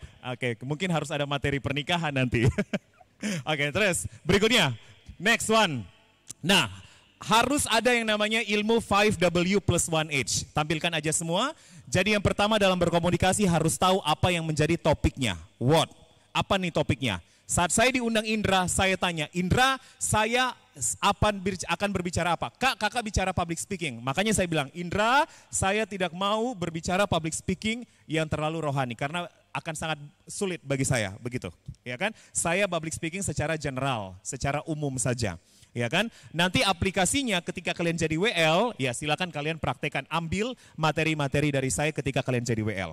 Begitu. Ketika kalian memberikan khotbah, ya kan atau misalnya sharing, ambil materinya. Sharing itu kan begini juga kan? Harus lihat mata, harus lihat pergerakan, bahasa tubuh. Kalau udah terlalu bosan, jangan juga terlalu dipaksakan sharingnya. Ya kan? Kalau sudah mulai bosan, sharingnya boleh kita bahas lagi firman Tuhan. Bagaimana dek pendapat kamu tentang ini? Begitu. Ya kan? Ya, jadi topiknya apa? Yang kedua adalah ourselves sama our audience. Saya tanya, Indra, audiens saya siapa? Ya, oh audiensnya Kak adalah anak-anak pemuda remaja. Oke, berarti ini kelompok anak muda. Begitu. Ya kan? Harus tahu. Kemudian W yang ketiga adalah apa? Lokasinya di mana? Kenapa? Karena ini menentukan yang namanya on time kalian. Saya rumah saya di Maesa. Saya harus tahu dari Maesa, ini, ini sebenarnya hal-hal kecil loh, hal-hal kecil. Tapi harus kalian tahu jadi seorang public speaker. Kenapa? Karena saya nggak mau terlambat. Makanya mobil saya parkir itu setengah tujuh lewat. Sudah parkir di sini. Saya harus prepare, saya harus berdoa, saya harus tenangkan diri. Jangan saya tahu rumah saya di Maesa, ada jalur yang macet di situ, Emi Sailan, kemudian tembus ke Towa, saya jalannya setengah tujuh dari rumah. Itu pasti sampai sini saya ngos-ngosan. Apalagi bawa mobil. Paham maksudnya lokasi ini? Lokasi ini pun juga menentukan saya bawa acaranya di mana, indoor atau outdoor. Ini indoor, tapi ruangannya besar. Otomatis saya butuh yang namanya sound system. Bayangin kalau Kak Julius nggak pakai sound system, kira-kira saya akan ngos-ngosan nggak? Selama saya bicara, ngap-ngapan, oke okay ya? Makanya itu, itu harus tahu lokasi kamu di mana. Yang keempat adalah time, waktumu. Saya berbicara di waktu malam hari, makanya saya bawa acaranya dengan santai. Karena saya tahu ini sebenarnya jam-jam jam 7 sampai jam 9 itu biasanya pergerakan mata itu udah mulai ngantuk. Ya kan? Kalau misalnya dikasih materi ini di jam 8 sampai jam 10 matamu pasti akan lebih besar. Di jam 7 sampai jam 9 itu biasanya udah pada capek. Jadi saya harus tahu bawahnya seperti apa. Ini yang harus kalian kuasai. Ini tekniknya sih. Ini harus kalian dalami nanti ya secara perlahan-lahan. Yang keempat, yang kelima adalah purpose. Tujuannya apa? Saya harus tahu, saya bicara public speaking pada malam hari ini tujuannya apa? Tujuan saya adalah untuk sharing kepada anak pemuda remaja ketika berdiri di mimbar, badan kamu harus tegap. Ketika berdiri di mimbar, komunikasi kamu harus bagus. Ketika berdiri di mimbar, cara pegang mikrofon kamu harus enak. Ketika berdiri di mimbar, eye contact kamu harus bermain. Ketika berdiri di mimbar, artikulasi kamu harus jelas. Itu tujuan saya berbicara. Makanya waktunya ini memang sangat sedikit sekali. Nantilah bisa dibuat lagi episode 2, episode 3. Karena kita harus gali nih, harus kita dalamin. Sebenarnya memang harusnya ada praktek begitu. Satu orang satu bisa saya nilai. Tapi dengan waktu sampai setengah sembilan nggak mungkin. Ini ada kurang lebih 40 orang, 30-40 nggak mungkin satu orang praktek satu-satu. Ya, Terus yang kelima, metodenya apa? Metodenya berarti ada audio, visual, ada sound system, ada PowerPoint, ada slide yang ditampilkan. Bayangin kalau ini nggak ada slide, kira-kira kalian bosan nggak dengar uh, celotehan saya? Bosan kan? Makanya ada PowerPoint, ini PowerPoint memberikan satu support untuk saya berbicara, kamu bisa baca, kamu bisa dengar. 5W plus 1H ini harus kamu kuasai. Apa saja? What, who, where, when, which, sama how ini harus kalian kuasai. 5W plus 1H. Oke, okay? next slide.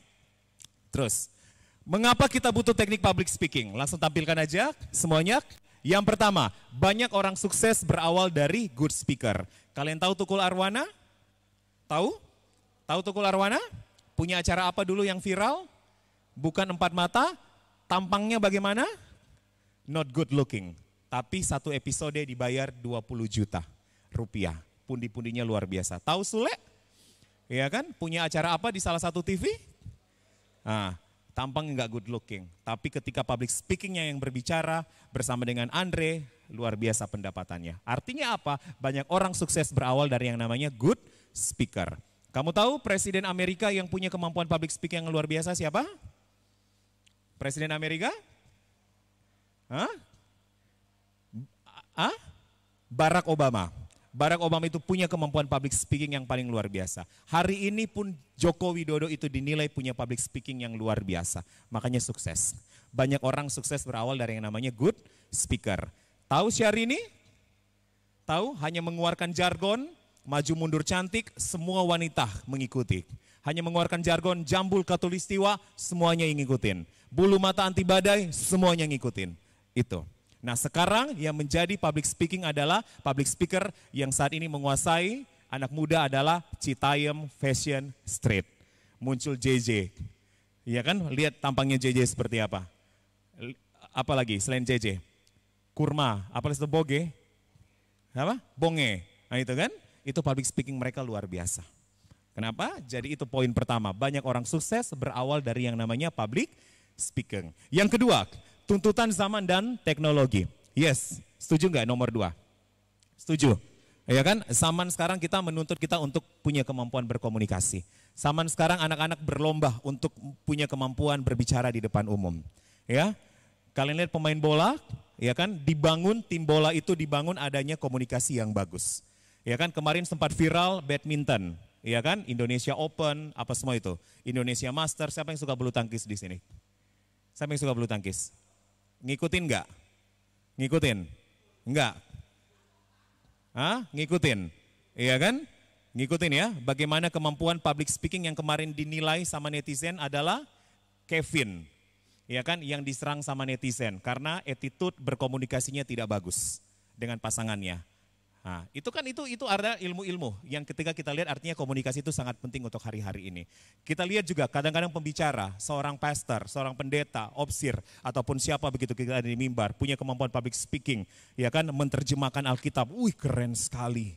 Kadang-kadang kita begitu ya, anak muda ya, atau WL, ya kan punya public speaking yang luar biasa, punya komunikasi yang luar biasa.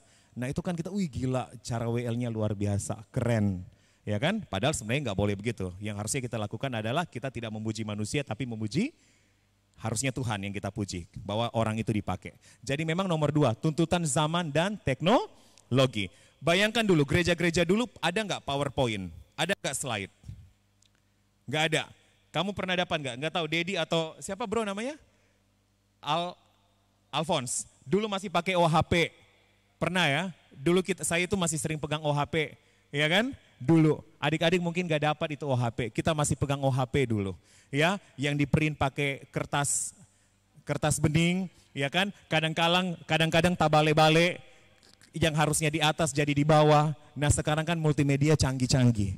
Bener kan? Bahkan biasanya gereja pengumumannya sudah nggak pakai orang lagi. Pengumumannya pakai apa? Multimedia. Ya kan? Nah itu tuntutan sama teknologi. Yang ketiga, tuntutan profesi. Oke?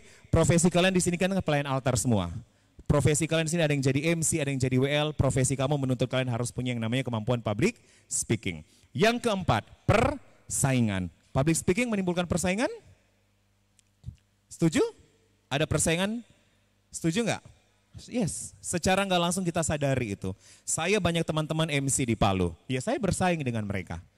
Begitu. Ya kan, bahkan di gereja pun juga kadang-kala begitu, jujur saja. Ya kan, kadang-kadang kita, ih dia WL bagus ya, saya enggak ya Ih dia singersnya bagus ya, saya enggak ya. Iya dia cara menari rebaninya bagus enggak ya. Nah itu, jadi ada persaingan. Tapi saya percaya kalau di sini kita bersaingnya secara sehat. Iya kan? Tapi memang persaingan itu enggak bisa kita uh, uh, skip. Karena memang itu udah hukum manusia. Kita akan bersaing dengan satu sama lain. Tapi yang dituntut adalah bagaimana kita bersaing secara sehat. Yang kelima, kenapa kita butuh public speaking? Adalah karena ingin bisa berbicara di depan publik. Ingin berbicara di depan publik semuanya? Ingin berbicara di depan publik? Ingin punya prestasi di dunia MC? Ingin? Ingin punya prestasi di dunia komunikasi? Anak debatar, anak-anak debater di sini siapa? Anak debat. Ada nggak? Stephen lagi.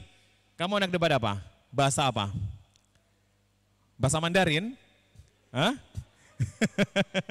itu ya. Oke, next. Ayo kita percepat aja ya. Waktunya tinggal 5 menit, mungkin saya minta waktu 5 menit lagi. Menjadi public speaker harus punya yang namanya database di otak kanan sehingga saat akan berbicara kita punya banyak cadangan wawasan atau kata. Itu yang saya bilang dari awal. Kamu harus punya yang namanya knowledge. Oke? Gitu. Harus punya yang namanya wawasan. Jadi ketika diajak ngomong apa pun itu nyambung. Itu seorang public speaker sejati. Coba ya, saya nggak nggak menceritakan saya. Diajak ngomong olahraga, oke. Okay. Walaupun saya tahu taunya sedikit. Diajak ngomong tentang fashion, oke. Okay Diajak ngomong tentang drakor tadi Lee Min Ho, oke. Okay. Ya kan? Apa? Dramanya Lee Min Ho yang terbaru? Nah, yang terbaru, yang dia jadi orang kaya, yang mengambil latar belakang zaman dulu, baru, barusan rilis, Panciko ya? Hah? Panciko, yang baru kan? Yang dia yang cerita itu hamil begitu, seorang gadis di desa. Katanya suka Lee Min Ho, ya kan? Oke, ajak ngomong apa lagi? Coba Mau ajak ngomong apa? Jadi seorang public speaker itu wawasannya harus luas. Nah wawasan luas itu harus kita buat dengan yang namanya literasi. Banyak membaca. Sekarang kan gadget ini kan ada di tangan kita. Ya kan, literasi digital itu ada di tangan kita. Jangan bosan dan jangan capek untuk membaca. Anak-anak muda harus banyak membaca. Oke? Kalau kalian keluar negeri nanti, suatu hari Tuhan kasih kesempatan keluar negeri, kamu lihat nanti. Ketika kalian naik, uh, kalau kita di Jakarta MRT, ya kalian lihat yang begitu, itu orang pada sibuk hanya dengan membaca. Kalau kita kan tidak, kita buka handphone, tapi yang kita buka adalah apa? WhatsApp. Saya rajin membaca Kak Julius, baca apa? Baca WhatsApp, buka status, Instagram, it's okay, nggak apa-apa. Tapi harus banyak membaca sesuatu. Oke? Okay? Tahu Ukraina Rusia? Tahu? Kenapa Ukraina Rusia berperang? Kenapa? Kenapa Ukraina Rusia berperang? Hah? Karena apa? Ukraina lebih berpihak kepada NATO. NATO itu ada siapa di dalamnya? Amerika. Amerika dan Rusia adalah musuh. Rusia ini menganggap Ukraina adalah adiknya. Benar kan? Jadi maksudnya Rusia adalah kau sebagai adik tolong ikuti kakakmu. Tapi Rusia enggak mau karena presiden yang baru. Itu harus kalian kuasai adik-adik. Ya, kenapa? Karena kalau kalian berbicara di depan, itu tidak hanya ada satu konsentrasi ilmu, harus banyak ilmu yang harus kalian konsentrasikan. Ya, harus kalian sampaikan. Dan saya percaya dengan hikmat Tuhan, pasti Tuhan akan pakai kalian. Benar ya? Ada Amsal 22 23 kalau tidak salah mengatakan bahwa apa itu? bahwa di depan raja-raja ia akan Ingat coba buka, ada yang punya handphone nggak Alkitab? Amsal 22 atau Amsal 23 ayat 29 itu? Ada yang punya nggak? Amsal 22 ayat 29, itu pegangan saya tuh. ya. Coba baca, Amsal 22 atau Amsal 23 ayat 29 stand. Ayat yang paling terakhir. Apa? Ada yang buka? Gladys? Nah ini saya sambung dengan rohani nih. ya Sok-sok jadi rohani dulu. Ya kan? Amsal 22 apa ayat 23 tuh? Di depan raja-raja ia akan berdiri. Pegang itu kalimat. Ayo Glad, Amsal 22 ayat 29 atau Amsal 23 ayat 29? Apa baca ya? Pekerjaannya? Oke, pernahkah engkau melihat orang cakap dalam pekerjaannya di depan raja-raja ia akan berdiri? Apa maksudnya itu? Ya, kalau Tuhan pakai kemampuan komunikasi kamu, Tuhan pakai kamu, itu maka Tuhan bilang nanti kamu berdiri di depan sana. Berdiri jadi orang yang hebat. Mau jadi orang hebat dalam Tuhan? Wah ini jadi rohani udah saya ini. Sorry ya, kalau ada oh, uh, kakak yang dari sekolah teologi ya, ya. Tapi setuju ya. Oke, kalau Tuhan pakai kalian, maka Tuhan bilang, ya sudah kamu bicara di depan umum. Pernahkah engkau melihat orang yang cakap dalam pekerjaannya, makanya di depan raja-raja ia akan berdiri. Oke, next. Terus. Oke, ini jadi cara public speaker, caranya adalah baca buku, kemudian nomor dua menyimak atau mendengarkan orang, trainer dalam pelatihan, konten YouTube, ya sekarang banyak youtuber kan, oke, banyak podcast sekarang, di mana-mana orang buat podcast, tahu podcast ya? Tahu podcast ya? Tahu ya, banyak sekarang pak artis-artis itu banyak jadi podcast. Podcast yang paling terkenal siapa punya? Deddy Corbuzier, yang kadang-kadang pro dan kontra, salah satu kan kemarin Ragil, ya kan yang menjadi pro kontra. Ada banyak lagi macam-macam, ya dan mengang, apa meng, mengang, uh, mengangkat tentang permasalahan-permasalahan hidup sekarang banyak begitu ya. Adanya punyanya Luna Maya, ada yang punyanya uh, siapa? Denny Sumargo yang katanya kalau Denny mengundang bintang tamu pasti bintang tamunya meninggal. Nah, itu harus kalian tahu begitu. Iya benar kan? Nah, ada yang punya kalau yang rohani ada nggak ya podcast khusus rohani? Hah? Daniel Mananta, tetangga ya. Iya kan? Nah itu enak itu Daniel Mananta. Iya kan? Banyak yang diwawancarai. Oke, terus berdiskusi dengan orang lain. Dari ketiga ini kira-kira yang paling jitu cara yang mana untuk kalian bisa dapat ilmu yang banyak? Nomor satu, dua, atau tiga? Nomor dua, ada lagi? Baca buku atau dengar YouTube konten atau berdiskusi dengan orang lain? Nah, banyak cara, ya kan? Apa pun kalian bisa lakukan sekarang, karena dunia sekarang kita adalah dunia gadget, dunia digital. Oke, okay, next. Selanjutnya, nah kita lihat tiga macam tipe komunikator. Yang pertama adalah agresif. Agresif adalah dia hanya ingin berbicara sendiri, mendominasi pembicaraan. Ini nggak boleh. Punya teman yang begitu? Yang kalau berbicara maunya nyerocos terus. Dia saja yang berbicara. Ada kan?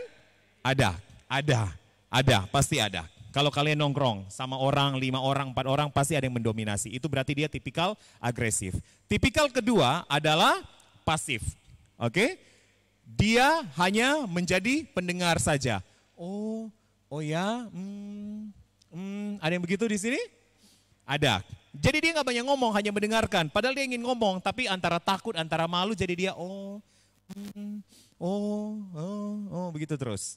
Itu nggak boleh juga. Komunikator yang ketiga yang paling bagus adalah asertif. Perpaduan antara agresif dan pasif. Kapan kalian harus jadi komunikator, kapan kalian harus menjadi yang namanya good listener. Itu. Oke? Okay? Oke? Okay? Asertif. Itu balance-nya adalah di asertif. Oke okay ya? Next. Sedikit lagi saya minta waktu tambahan 5 menit. Memiliki kemampuan public speaking harus memiliki yang namanya mindset positif. Ya, jadi semua yang biasa keluar dari mulut itu kan biasa dari pikiran ya kan? Jadi harus punya mindset positif, ya. Kalian mau diundang di mana saja harus menganggap audiensmu itu sama, gitu. Kak Julius, puji Tuhan sampai hari ini saya sudah diundang banyak, ya. Perbankan, dokter, langganan, eh, ibu-ibu, uh, lurah, RT, RW, itu udah langganan-langganan saya semua. Uh, napi tadi yang saya cerita di awal, ya kan penyuluh narkoba segala macam, saya menganggap semua audiens saya sama. Jadi saya harus memperhatikan yang namanya mindset saya harus positif. Sama seperti ini, saya merasa luar biasa hari ini berdiri di depan anak-anak muda yang pasti saya tahu 5 tahun, 10 tahun ke depan akan menjadi anak-anak yang dipakai oleh Tuhan. Ya, secara komunikasi. Oke, siapa tahu nanti jadi kayak mau di Ayunda, ya. Mau di Ayunda tahu ya? Sekarang jadi humasnya juru bicara G20. G20 akan diadakan di Bali. Begitu. Oke, next. Sedikit lagi. Komunikasi yang bagus itu harus meyakinkan, sama seperti kalian misalnya menembak seseorang untuk menjadi pacar atau seorang istri. Ya, convincing itu. Mau salah, mau benar, harus meyakinkan orang. Makanya sekali lagi melihatnya adalah eye contact, tatapan mata. Ya kan? Oke, next. Nah, ini yang akan saya challenge sama kalian malam hari ini. Kekuatan komunikasi itu ada tiga. Ini saya butuh waktu sedikit aja, ya, minta waktu Indra, nggak lama. Gestur, konten atau verbal. Ini kekuatan komunikasi yang tidak bisa dipisahkan satu sama lain. Gestur, it means your body language. Ini gestur nih, gesturnya bermain. Gestur, body language, bahasa tubuh. Ya, kamu ke kanan, kamu ke kiri, kamu pegang mic kiri, kamu pegang mic kanan, kamu pegang mic dua, kamu isi kantong di dalam, itu namanya gestur. Itu, kekuatan satu. Yang kedua adalah konten. Konten itu isi, powerpointnya, materinya nih konten. Oke? Materinya harus mendukung. Yang terakhir adalah verbal, how to say, how to speak, how to deliver. Ya, verbal itu bagaimana kalian menyampaikan pesan itu. Nah, ketiga ini nggak bisa dipisahkan satu sama lain. Tapi kalau saya mau bertanya, mana yang lebih penting menurut kalian? Gestur, konten, atau verbal? Saya kasih waktu dua menit. Dan saya akan mengelompokkan yang mana pilih gestur, yang mana pilih konten, yang mana pilih verbal. Gestur itu bahasa tubuh. Ya, ini bahasa tubuh saya dari tadi bermain. Ke sana, ke sini, ke sana, ke sini. Konten itu materi saya. Materi PowerPoint saya ini juga uh, tips, trik buat adik-adik ketika buat PowerPoint.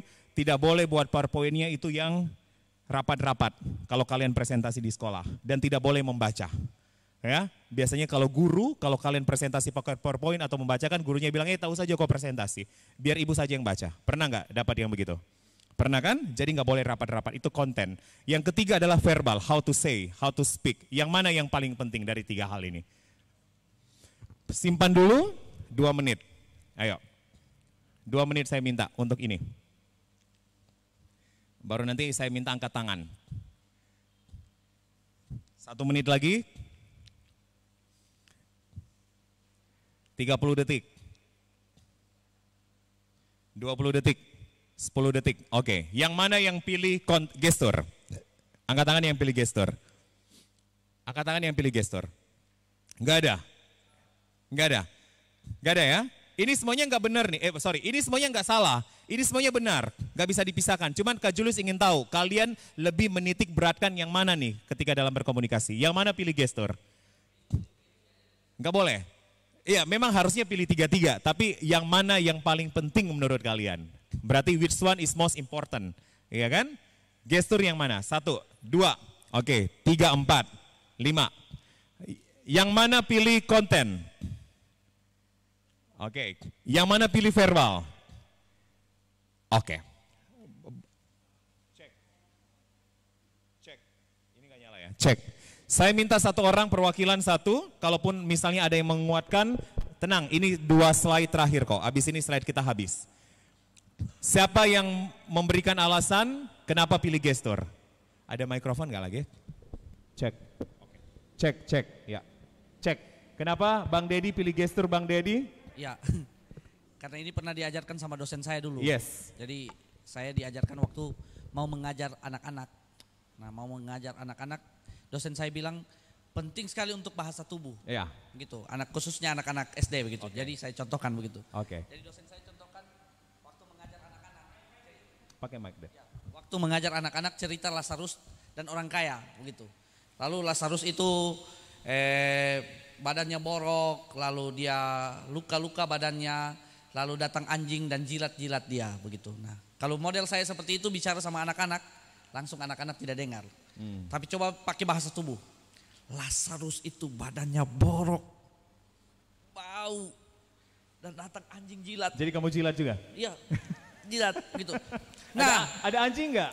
Gitu, nggak ada anjing, oh. tapi tapi pakai bahasa tubuh seperti itu dan langsung waktu itu pada waktu itu pada waktu kami diajar seperti itu, jangankan anak-anak kami yeah. saja mahasiswa yang lihat okay. menjijikan begitu. Okay. Nah, lalu setelah itu dia bilang coba praktek begitu yes. di anak-anak dan saya sudah pernah praktek yeah, yeah. dan anak-anak menjijikan begitu kita dilihat uh, gitu jadi memang makanya saya pilih Gesture. bahasa tubuh okay. ya ah, terima kasih Dad ada yang ingin menguatkan eh, tepuk tangan dong ada yang menguatkan Dedi kalau sama alasannya nggak usah tapi ada yang menguatkan memberikan penguatan kenapa pilih gestur kenapa pilih gestur ada jangan malu-malu ayo ayo nggak ada udah nggak ada tadi banyak yang pilih gestur sama alasannya sama, oke. Okay.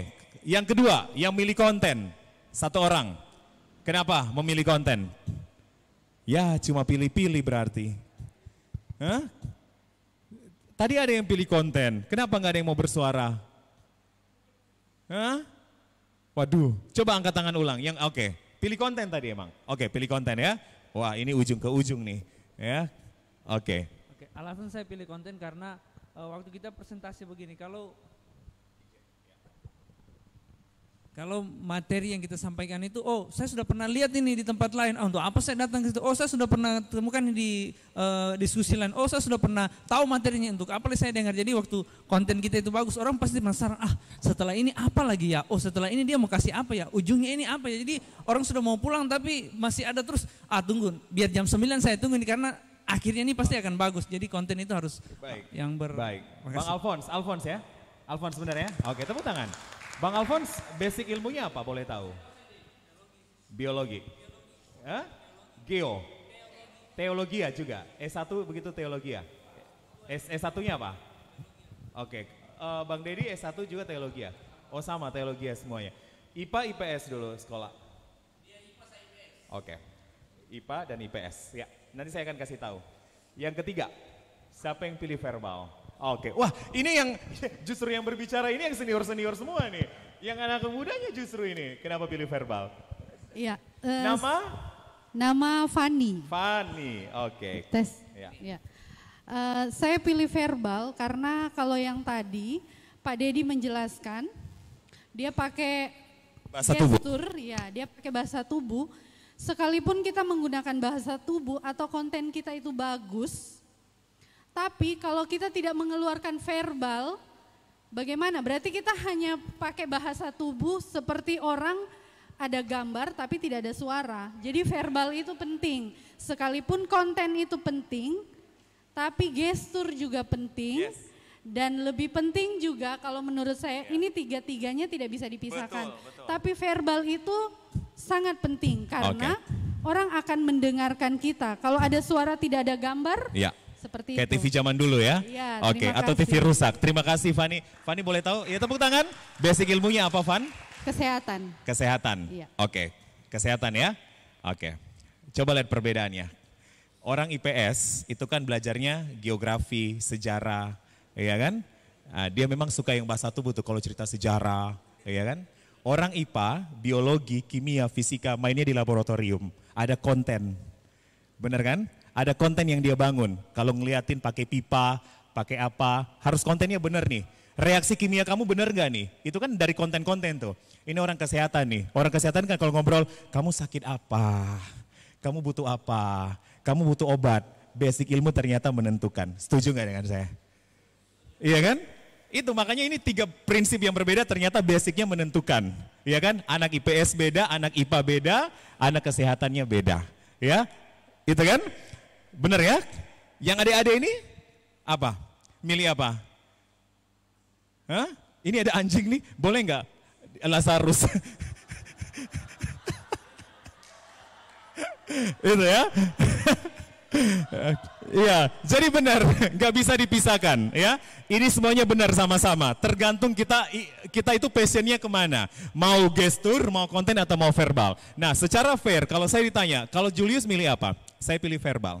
Karena saya sama, anak pariwisata. Anak pariwisata itu tuh bercerita, iya kan? Saya nggak butuh nih pemandangan apa. Orang kalau di Tanjung Karang mungkin dia lihat di fotonya bagus apa enggak, tapi saya butuh menjelaskan Tanjung Karang, iya kan? Tapi sekali lagi tiga hal ini tidak bisa di pisahkan. Ini yang harus kalian punya.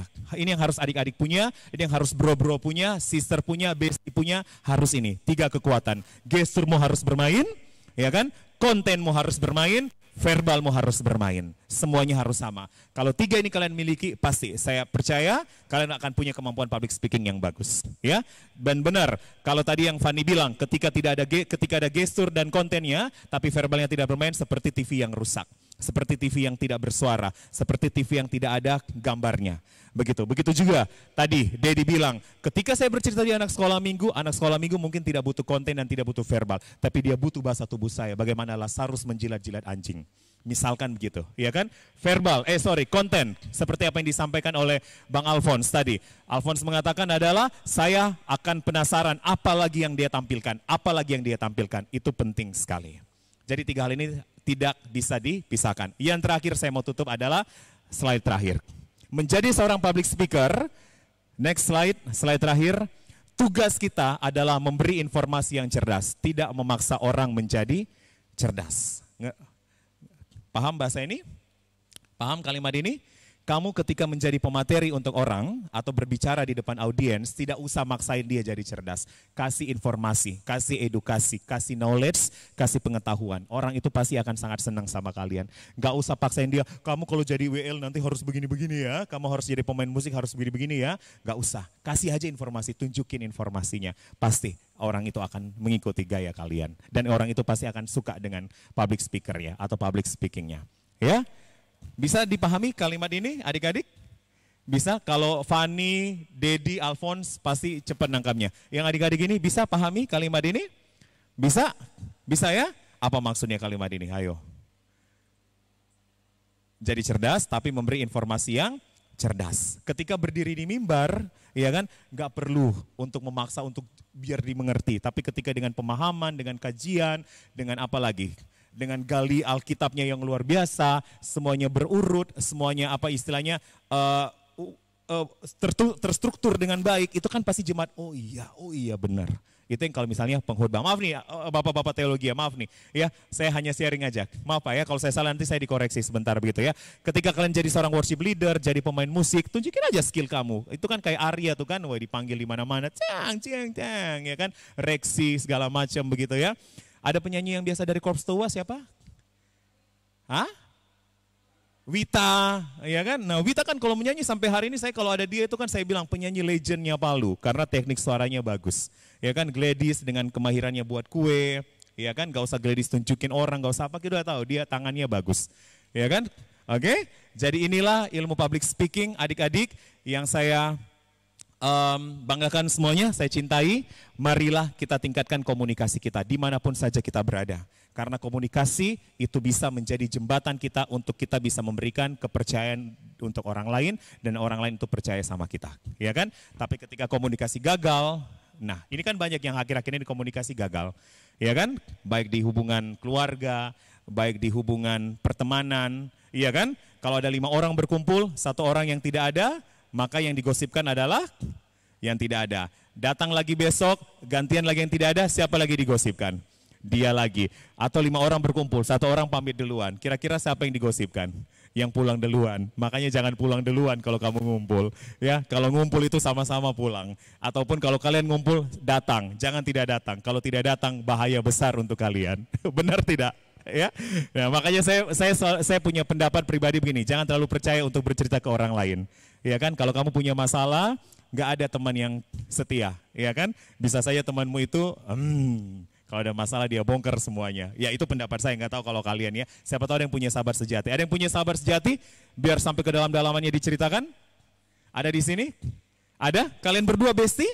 Soalnya sudah tepuk tangan tadi. Ya, oke, terima kasih. Ya, waktunya udah selesai. Saya nggak tahu apakah masih ada question answer, tanya jawab atau sharing atau apa. Ya, silakan nanti dipandu oleh Stephen. Terima kasih banyak. Tuhan yes. memberkati. Ya. Sekali lagi kasih tepuk tangan dulu untuk Kak Julius yang sudah Tuhan pakai dengan luar biasa pada malam hari ini. Ya silakan diminum dulu kak, tenggorokan kering juga kalau lama-lama bicara. Ya saya rasa tadi materinya sangat luar biasa, kurang lebih kalau di mata kuliah kita sudah terima dua SKS, semester pendek tadi itu. Satu jam setengah tidak dirasa, masih tak gantung cuma karena uh, waktu mepet jadi dipercepat begitu. Oke masuk ke sesi berikutnya. Kami memberi kesempatan kepada teman-teman semua kalau ada yang ingin bertanya segala sesuatu tentang public speaking dan akan dijawab oleh pemateri kita. Saya berikan kesempatan untuk di sesi pertama ini tiga orang saja dulu. Oke. Okay. Lalu kemudian mungkin ada yang bertanya lewat live YouTube juga boleh nanti akan kami. Wah ini ternyata di ya, karena kami informasikan juga, juga ya? pelatihan ini juga di. Iya. Uh, wow. Diikuti teman-teman di live YouTube Galilea yes. Youth Ministry juga atau Korps Towa juga dan ada tiga pertanyaan di live YouTube ini. Apa tapi itu untuk pertanyaannya? Oh satu saja ini ya? Ini yang sharing. Oh satu orang tapi ada tiga pertanyaan kak. Iya. Jadi yang, untuk pertama yang di nah. dalam ruangan dulu. Ada yang mau bertanya? Satu, dua? Lagi-lagi Dedi, lagi-lagi tiga, Fanny. Oke, okay. karena untuk pertanyaan pertama, ladies first aja dulu. Oke. Okay. Fanny. Lagi-lagi Fanny, lagi-lagi Dedi uh, nanti kak kalau bisa setelah ditanya langsung dijawab. Yes, oke. Okay. okay. Ini yang sharing YouTube ini event event WA saya. Waduh luar biasa ini staff alinya DPR. Ya, tenaga ahli. Oke okay, Van, ya saya berdiri ya. deh. Sama-sama kita berdiri Van. Terima kasih Sama-sama. untuk kesempatan ini. Um, jujur saya ini antusias sekali, apalagi materi yang public speaking ini. Karena saya itu Eh, tipe-tipe seperti tadi saya simak tipe-tipe public speaker itu ada yang agresif, uh, pasif, agresif, asertif. pasif dan asertif. Dan saya itu tipe yang saya sangat tertarik dengan public speaker, dunia public speaking, tapi saya adalah tipe yang pasif. Jadi saya suka belajar tapi saya tidak memilih itu sebagai jalan hidup atau uh, jalan karir saya. Tapi saya bersyukur hari ini saya ingin lagi menambah menggali apa yang uh, biasa saya dengarkan, apalagi pembicaranya kita ini salah satu news anchor terbaik. Ya, uh, pertanyaan saya, uh, kalau ini kan bawa materi ada ininya PowerPoint, tapi biasanya Pak Julius itu kalau jadi MC kan uh, sementara sementara membawakan acara, kadang-kadang kita seperti dibilang tadi tiga menit pertama itu kita eh, critical time-nya Iya. kita itu ada di tiga menit pertama. Iya. Tapi biasanya kadang-kadang waktu lagi lagi seru lagi ini tiba-tiba blank, Mhm. tiba-tiba kita Iya. hilang. Apa yang kita mau bilang? Oke. Itu bagaimana kira-kira mengatasinya? Terus yang kedua, eh, saya berterima kasih untuk pengurus di Galilea Youth Ministry memberi kesempatan untuk kita. Saya juga rindu sebenarnya kalau ada program seperti ini untuk anak-anak yang lebih kecil lagi. Oke. Misalnya anak-anak sekolah minggu biar eh, kalau dari GIM kan mereka sudah beranjak remaja ke pemuda ya. Tapi kalau dari anak-anak sekolah minggu kita bantu untuk push untuk public speaking. Kayaknya itu bagus sekali. Siapa tahu juga Pak Julius buka Bisa, kelas untuk anak-anak seperti itu. Oke. Ya karena sekalipun saya tidak pilih jalan itu, tapi saya berpikir-pikir untuk anak-anak saya kayaknya bagus kita arahkan ke Iya. sana. Terima kasih. Terima kasih. Oke, saya langsung jawab ya. Fanny duduk dulu. Oke. Nah, Fanny adalah tipikal komunikator yang pasif, tapi bukan introvert.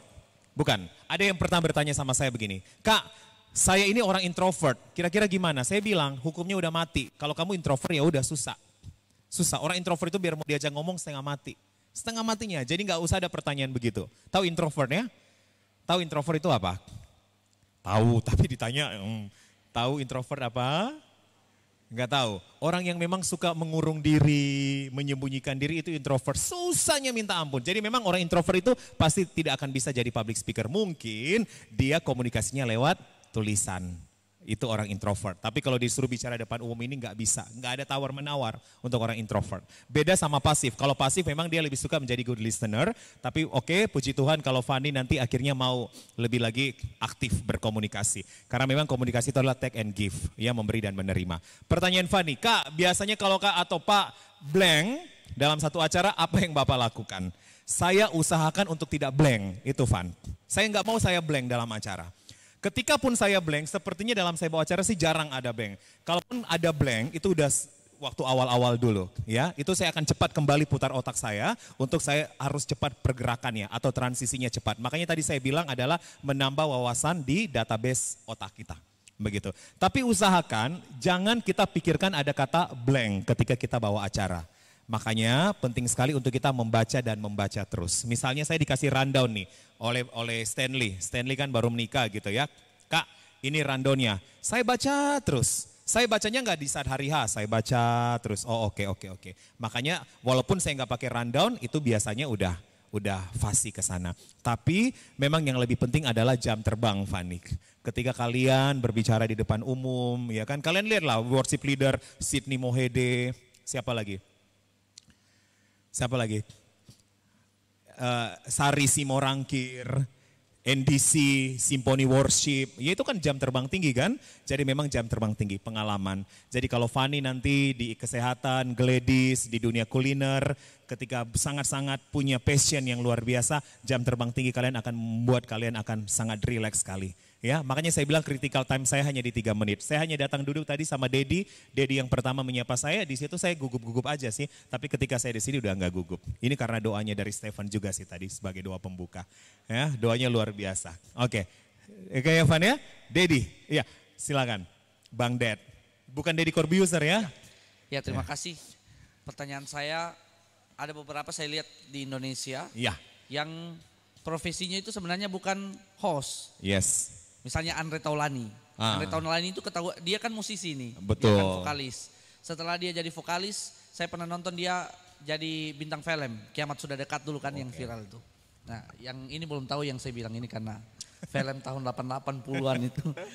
Oke, lalu setelah itu dia jadi pelawak. Ya. Lalu setelah itu dia sekarang host. Ya, Iya. Sekarang dia yang bertahannya itu di host. Iya. Nah, eh, beberapa orang itu kayak Sule juga itu pelawakan latar belakang. Basicnya bukan di host, tetapi kenapa? Apa penyebabnya sampai sekarang beberapa orang itu ada juga musisi yang sudah jadi host Oke. seperti itu. Itu pertanyaan pertama. Eh, mengapa mereka jadi host? Pilih. Lalu yang yang kedua tadi apa pertanyaanku? Ya, lupa. Lupa sudah. Blank. Blank. Blank. Oke, itu saja dulu. ya. Mungkin sementara menjawab saya ingat. Ya. Oke, Dad itu sebenarnya bukan domain saya ya untuk untuk menjawab gitu ya kenapa akhirnya seseorang bisa hijrah jadi dari profesi ke profesi. Tapi begini aja, saya bisa jawabnya begini. Kalau jadi anak band, lima orang rezekinya dibagi. Ya kan? Satu satu kali manggung, ya kan? Misalnya 100 juta dibagi lima orang jadi 20 juta. Dan tapi kalau host dia berdiri sendiri nggak dibagi-bagi. Mungkin begitu ya. Dan mungkin ya memang sekali lagi sekali lagi menjadi host itu memang enak. Karena kalau anak band kan ya main band aja begitu, nyanyi. Tapi kalau jadi host kan wah kita sepertinya didengarkan gitu berbicara. Jadi mungkin itu ya alasan alasan seorang Andre berpindah ya. Tapi sebenarnya bukan domain saya sih. Saya nggak tahu. Mungkin memang dia sudah nggak jadi band lagi, sudah nggak laku. Yang yang lakukan lagunya dulu apa? Mungkinkah kita kan selalu bersama. Ini pada tahu semua ini. Ya mungkin Stinky-nya udah tua kali ya. Nah sekarang makanya dia jadi host itu ya. Oke. Ada lagi satu Ah, oh ini yang dilupa tadi, Ingat yang ya, blank. ini Apa yang kedua? tadi. Saya pernah bertanya sama salah satu sama salah seorang ketika kami mau bikin satu acara besar, lalu bertanya kepada orang yang senior, apa kriteria MC? Lalu dia jawab kriteria MC itu harus minimal dia bisa menyanyi, harus dia vokalis, begitu minimal dia punya basic musik gitu. Apakah itu benar atau salah? Ya. Benar dan salah. Ya, benar dan salah. Tapi zaman dulu memang pemikiran orang tua kita itu begitu. Seorang yang jadi MC berarti harus menyanyi. Kalau zaman sekarang enggak sih. Kalau sekarang ya, kalau sekarang itu enggak lagi. Tapi memang benar seorang MC itu paling tidak punya kualitas vokal yang oh bolehlah dia menyanyi, enggak cempreng-cempreng amat. Saya setuju sih, saya setuju dengan itu Dedi. Tapi kalau saya lagi ditanya sekarang, Julius, apa kriteria seorang MC? yang baik. Yang saya bilang pertama adalah punya public speaking yang bagus, kedua adalah good looking. Good looking itu relatif. Ya kan? Good looking relatif. Good looking itu tidak ada standarisasi. Tidak ada body shaming di dalamnya. Tapi ketika kalian berpenampilan good, berpenampilan lookmu bagus, itu udah jadi poin untuk kamu. Harus good looking. Makanya sekarang coba lihat, banyak gereja ketika ibadah praise and worship, mereka seragamnya bagus, iya kan? atau apa begitu ya anak-anak band yang sering main di wedding seragamnya harus bagus MC-nya bagus juga gitu deh jadi public speaking sama adalah good looking karena kan ada peribahasa yang mengatakan adalah apa itu? First impression pengalaman pertama adalah ketika kita melihat orang tersebut. Penilaian pertama adalah ketika kita melihat orang tersebut. Satu yang saya ingin tutup ya mungkin ada pertanyaan tapi saya ingin tutup dari pertanyaan Dedi adalah semua itu semua knowledge skill semua itu kita harus tutup dengan yang katanya atau namanya adalah attitude. Makanya kalau dalam teori itu ada namanya ASK, attitude, skill, knowledge. Percuma kita punya skill yang bagus, percuma punya knowledge yang bagus, tapi attitude di panggung tidak bagus, nggak bisa. Attitude itu harus bagus. Hari-hari ini kan attitude kan yang lagi sering disuarakan gitu ya. Sikap-sikap ya kan. Kita lihat sekarang banyak artis yang punya kemampuan tapi sikapnya nggak bagus, sifatnya nggak bagus. Nah itu dia salah. Apalagi kita sebagai anak Tuhan ya, yang hari-harinya di gereja, attitude. Be a good attitude. Memang kita nggak sempurna ya, mohon maaf nih Pak Teologia berdua nih ya, nobody's perfect. Yang sempurna kan hanya Tuhan. Dan sama siapa dulu yang bilangnya itu dalam talk show-nya, almarhumah Dorce Gamalama. Nonton itu ya? Ya kan? Nonton itu enggak? Ini ini sepertinya hanya kita berempat aja ini. ya, soalnya kacau. Ini adik-adik nonton apa? Eh, sekarang nonton apa? Hah? Nonton apa sekarang kamu? Ini ini kayaknya paling junior nih. Umurnya berapa sayang? 15. Kamu nonton apa sekarang? Tontonan kamu? Tayo. Hah? Tonton apa? Yang TV, bukan yang YouTube, yang TV. Nonton apa? Hah? Kamu deh, ayo yang cantik kamu nonton apa di TV, bukan YouTube. TV kamu nonton apa sekarang? Hah? Enggak ada nonton TV, iya Pak. Memang kalau kita dulu nggak ada yang nonton TV Gladys ya. Kalau kita dulu hari Minggu, wah mulai Doraemon, Shinchan, Ultraman segala macam. Kalau sekarang nggak ada yang begitu lagi Pak ya. Itulah. Oke, atau mungkin nanti Indra bisa dibagi klasifikasi umur kali ya kalau bicara di public speaking. Ini kayaknya campuran semua yang mendominasi kita berempat ini, berlima tambah Gladys. Adik-adik tetap semangat ya, tetap belajar ya. Oke ya. Ada yang pengurus OSIS di sini? Angkat tangan yang pengurus OSIS? Oke, ya. Ini pengurus OSIS harus punya kemampuan komunikasi yang bagus. Ya, seksi apa kamu di OSIS? Hah? Bendahara? Waduh, hati-hati jadi Yudas ya. Oke. Ya. Oke kak, eh, sebelum lanjut ke Tian, ada eh, dari jadi ternyata eh, pelatihan worship leader hari ini teman-teman kita anak-anak Papua di Sorong sedang nonton bareng. Jadi mereka minta disapa sama Kak Julius Halo, untuk yang dari anak-anak Papua. yang ada di Korop Sorong. Ya. Papua di Korp Sorong, salam kenal dari saya. Eh saya lihatnya mana nih kamera? Blockingnya ke mana nih? Iya kebiasaan di TV begitu kan. Halo salam kenal dari saya teman-teman yang ada di Korps Sorong Papua. Salam satu saudara, salam rasa eh, apa solidaritas, nasionalisme. Tuhan memberkati kita semuanya. Apa salam Papua ada nggak ya? Horas horas gitu. Hah? Apa? Damai di hati. Ya. Iya, itu dia salam dari Kak Julius untuk teman-teman yang ada di Korps Sorong secara khusus untuk opsir korupsnya, Letnan Ratno Harini dan juga Letnan Ruth. Kami ucapkan salam rindu dari Korps Tohua. Baiklah lanjut ke pertanyaan ketiga. Pada Tian Askander kami persilakan.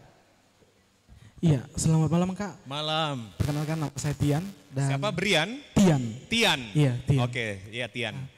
Di sini saya ingin bertanya Kak, kan terkadang kita sebagai MC atau pemimpin ibadah itu tidak hanya sendiri, biasa berdua.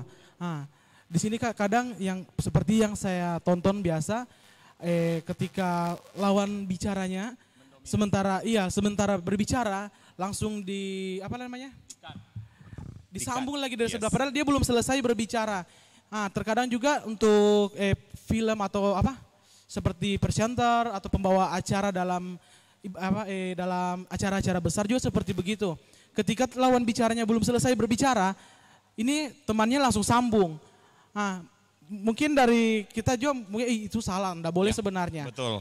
Tapi maksudnya eh, bagaimana caranya kita kan dengan lawan temannya kita untuk MC itu menjadi satu paket yang lengkap. Oke. Kak, Terima itu kasih. Kak. namanya adalah teknik kolaborasi dalam chit chat ataupun juga tiktokan. Bukan tiktok aplikasi tiktok ya, tiktokan. Tiktokan itu adalah chit chat. Nah itu benar yang kamu bilang Tian, saya setuju. Ya, ketika ada kita misalnya berdua nih, duet, kalau ada lawan bicara atau ada partner MC kita bicara, kita dengerin. Oh, Oke, hmm, really? Yes, oh yes. Kalau dia udah selesai nih ya, oke. Ya, saya setuju apa yang disampaikan oleh Gladys. Benar, yang disampaikan oleh Gladys adalah begini-begini. Jadi benar-benar itu adalah control yourself, penguasaan diri. Ya kan, itu namanya teknik TikTok, teknik uh, chit chat. Nah, memang kalau ilmu ini memang harusnya kita pelajari nanti mungkin saya nggak tahu ada kesempatan lagi untuk jadi MC. Kalau ini kan public speaking. Untuk MC itu beda, ya. Public speaking ini secara general, secara umum. Tapi kalau menjadi MC itu memang harus. Karena saya harus latih mulai dari pegang mikrofon, mulai dari tiktokan, mulai dari opening, salam-salam keagamaan tadi, sampai kemudian menutupnya gimana. Mulai dari kaki, berdirinya seperti apa. Ini kaki kan harus ditengkuk, di apa, begitu ya. Mulai dari, hmm, gitu. Itu harusnya ada pelatihan sendiri. Tapi benar yang dikatakan Tian adalah ketika ada lawan atau partner MC kita bicara, jangan memotong dia. Kalaupun kita misalnya nyambung hanya dengan kata yes, good, hmm, saya setuju. Hmm, oke. Hmm. Nah ketika dia sudah selesai, benar apa yang disampaikan oleh uh, Gladys tadi. Jadi acara malam hari ini adalah acara yang sangat luar biasa. Ah itu begitu. Ya kan? Jadi hanya dengan sambungan-sambungan yang singkat-singkat saja. Oke Tian ya? Oke. Apalagi Stephen? Gugup saya ini banyak yang bertanya. Iya, eh, ini terakhir Kak dari pertanyaan di YouTube karena waktu kita sudah eh, sedikit lewat. Ya udah sekolah. Jadi untuk teman-teman yang di sini mungkin ada yang mau ditanyakan, boleh di eh, WA ke Kak Indra atau di grup kita nanti akan diteruskan Kak ke Kak Julius. Sebentar nanti pasti dia akan bisa jawab. Tapi Sorry, kita sebentar. kita jawab dulu di Tadi ada slide terakhir itu yang kayaknya belum kebuka itu ada WhatsApp saya deh sama akun Instagramnya. Ya, ditampilin yang terakhir sekali. Oke, terima kasih Stephen. Ya. Oke, eh, ada tiga pertanyaan dari salah satu penonton YouTube kita. Dari beberapa orang yang menonton live YouTube ini, ada satu tiga pertanyaan dari Kak Daniel Lawa. Pertama Kak, dia bertanya satu, mohon tips jika dalam situasi hadapi audiens yang kurang familiar dan materi yang tidak lengkap. Itu pertama. Yang kedua, pertanyaan keduanya, bagaimana melatih gestur tubuh supaya cocok dengan speech? Itu yang kedua. Yang ketiga, menurut pengalaman Kak Julius, apa dampak dari belajar public speaking terhadap pelayanan worship leader? Oke. Ya. Oke. Yang pertama, bagaimana dengan audiens yang tidak familiar? Ya. 5W plus 1H itu. Itu yang harus dikuasain. Buatlah kamu familiar dengan audiens kamu. Caranya apa? Cari tahu audiens kamu siapa. Ya, itu yang saya selalu lakukan. Saya selalu tanya ke yang undang saya, siapa audiens saya? Itu. Jadi makanya sebelum kamu tampil pasti udah audiensnya sangat familiar dengan kamu. Yang kedua, pertanyaan pertama poin B, bagaimana kalau materinya tidak lengkap? berarti materinya harus lengkap. Nggak boleh ada kata materi tidak lengkap. Berarti kita nggak punya yang namanya persiapan yang baik. Sama kalau kita mau berperang, ya kan, terus senjata kita nggak lengkap, ya udah, siap-siap saja kita pasti kalah. Jadi ketika kita mau tahu, ketika kita tahu bahwa kita harus tampil di satu tempat atau event, materinya harus lengkap. Itu, ya kan? Cek and recheck lagi, uh, PowerPoint, cek and recheck lagi materinya apa yang harus kita sampaikan. Jadi sama dengan kita memperlengkapi senjatanya kita, gitu ya. Kemudian yang kedua, bagaimana? Bagaimana melatih gestur tubuh supaya cocok dengan speech. Oke, melatih gestur tubuh sesuai dengan speech. Oke, ini sebenarnya pengalaman saja sih sebenarnya. Ketika lebih sering dipakai, itu biasanya sudah sudah balance antara cara bicara dengan gestur. Tapi tips di awal adalah coba berlatih dulu melihat cermin. Ya kan, kalau kalian misalnya jadi uh, uh, public speaker yang awal-awal begitu, lihat cermin, ya kan, gestur kamu bermain, lihat orang lagi, Ya kan, makanya tadi saya bilang banyak membaca, lihat konten YouTube dan berdiskusi dengan orang. Tapi ketika ini kalian sudah eksekusi, sudah menjadi pengalaman kalian, itu biasanya pengalaman membuat kalian akhirnya bisa balance antara speech dan artikulasi dan gestur.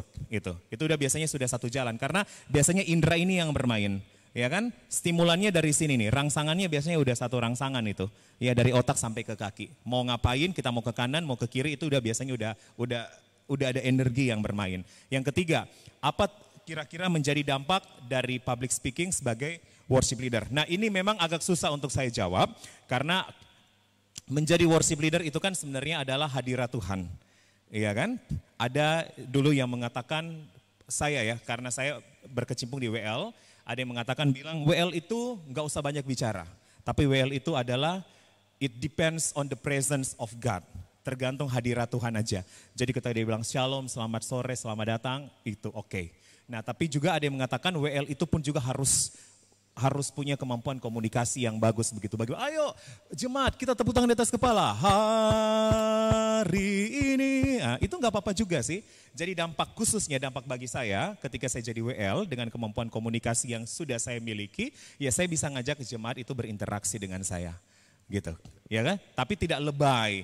Tidak seperti kita kayak konser ya kan? Sampai ada mic yang di atas gitu. Ya nggak tahu ya, ini beda pendapat mungkin ya kan, beda pendapat. Terlalu sensitif sebenarnya menjawab pertanyaan ini karena biasanya liturgi gereja itu berbeda-beda. Ya kan, apalagi yang di karismatik. Ya kan, berbeda-beda. Siapa tadi namanya?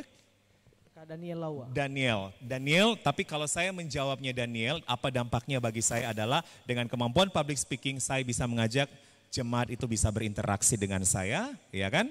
Tetapi yang paling utama menjadi seorang worship leader adalah presence of God. Hadirat Tuhannya harus dapat begitu. Makanya doa puasa.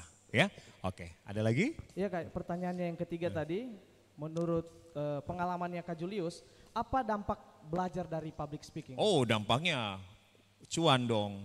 iya dong. Saya nggak usah kita nggak usah munafik, iya kan? Kita kerja untuk dapatkan penghasilan, iya kan? Ada nggak yang bekerja, yang teman-teman kerja terus nggak digaji, nggak dapat payment yang sewajarnya? Ada? Ada? Kalau ada ayo ngomong aja. Ada nggak yang bekerja, ya udah gaji saya biar berapa itu, nggak apa-apa. Ada nggak yang begitu? Ini matanya ke mana semua sih ini? Atau saya yang salah bicara? Yang kerja yang mana deh yang kerja? Coba angkat tangan. Fan, Fanny, Fanny kalau kerja harus mendapatkan salary sesuai pekerjaan kamu kan? Kalau di bawah pendapatan kamu, eh di bawah kemampuan kamu kira-kira gimana rasanya? Kecewa, ya kan? Mas Bro, gimana? Kecewa kan? Mbak, gimana? Iya kan? Artinya memang begitu. Apa dampaknya untuk saya bisa menguasai public speaking dan jadi MC di mana-mana? Pasti ini dong. Tapi itu nomor kesekian. Ya kan? Nomor pertama adalah bagaimana saya bisa sharing ilmu dan bagaimana eksistensi saya itu bisa orang lihat dengan menjadi berkat di dunia saya. Tapi bonusnya adalah uang. Bonusnya adalah rezeki. Benar ya? Atau ada pendapat lain? Pendapat lain? Pendapat lain ini yang jacket jeans, ada pendapat lain?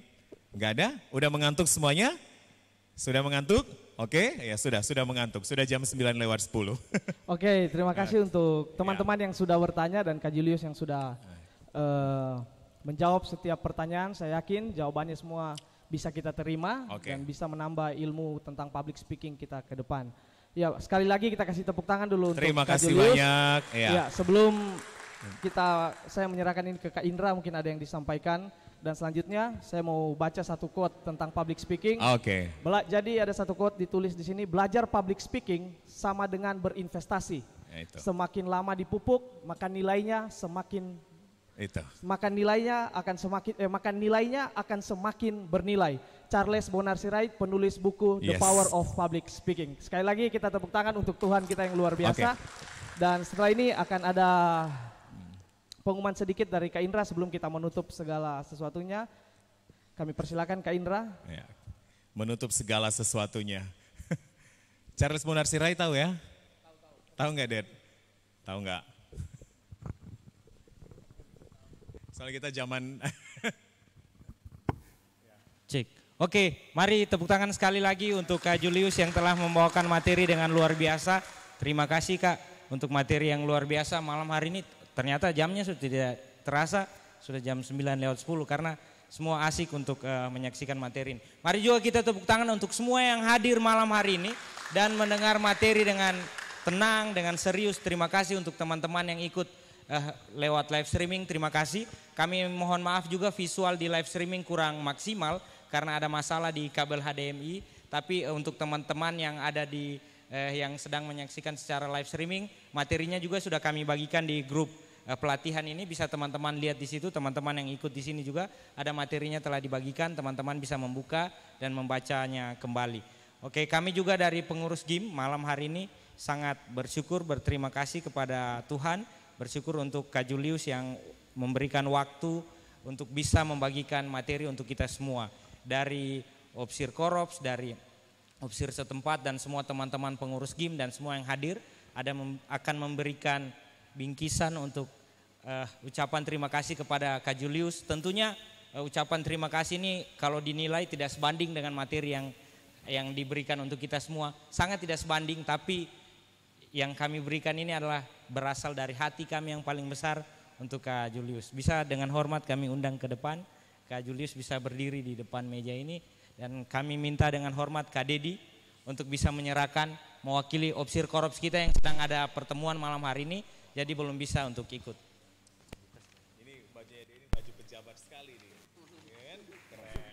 Pas pampres dia.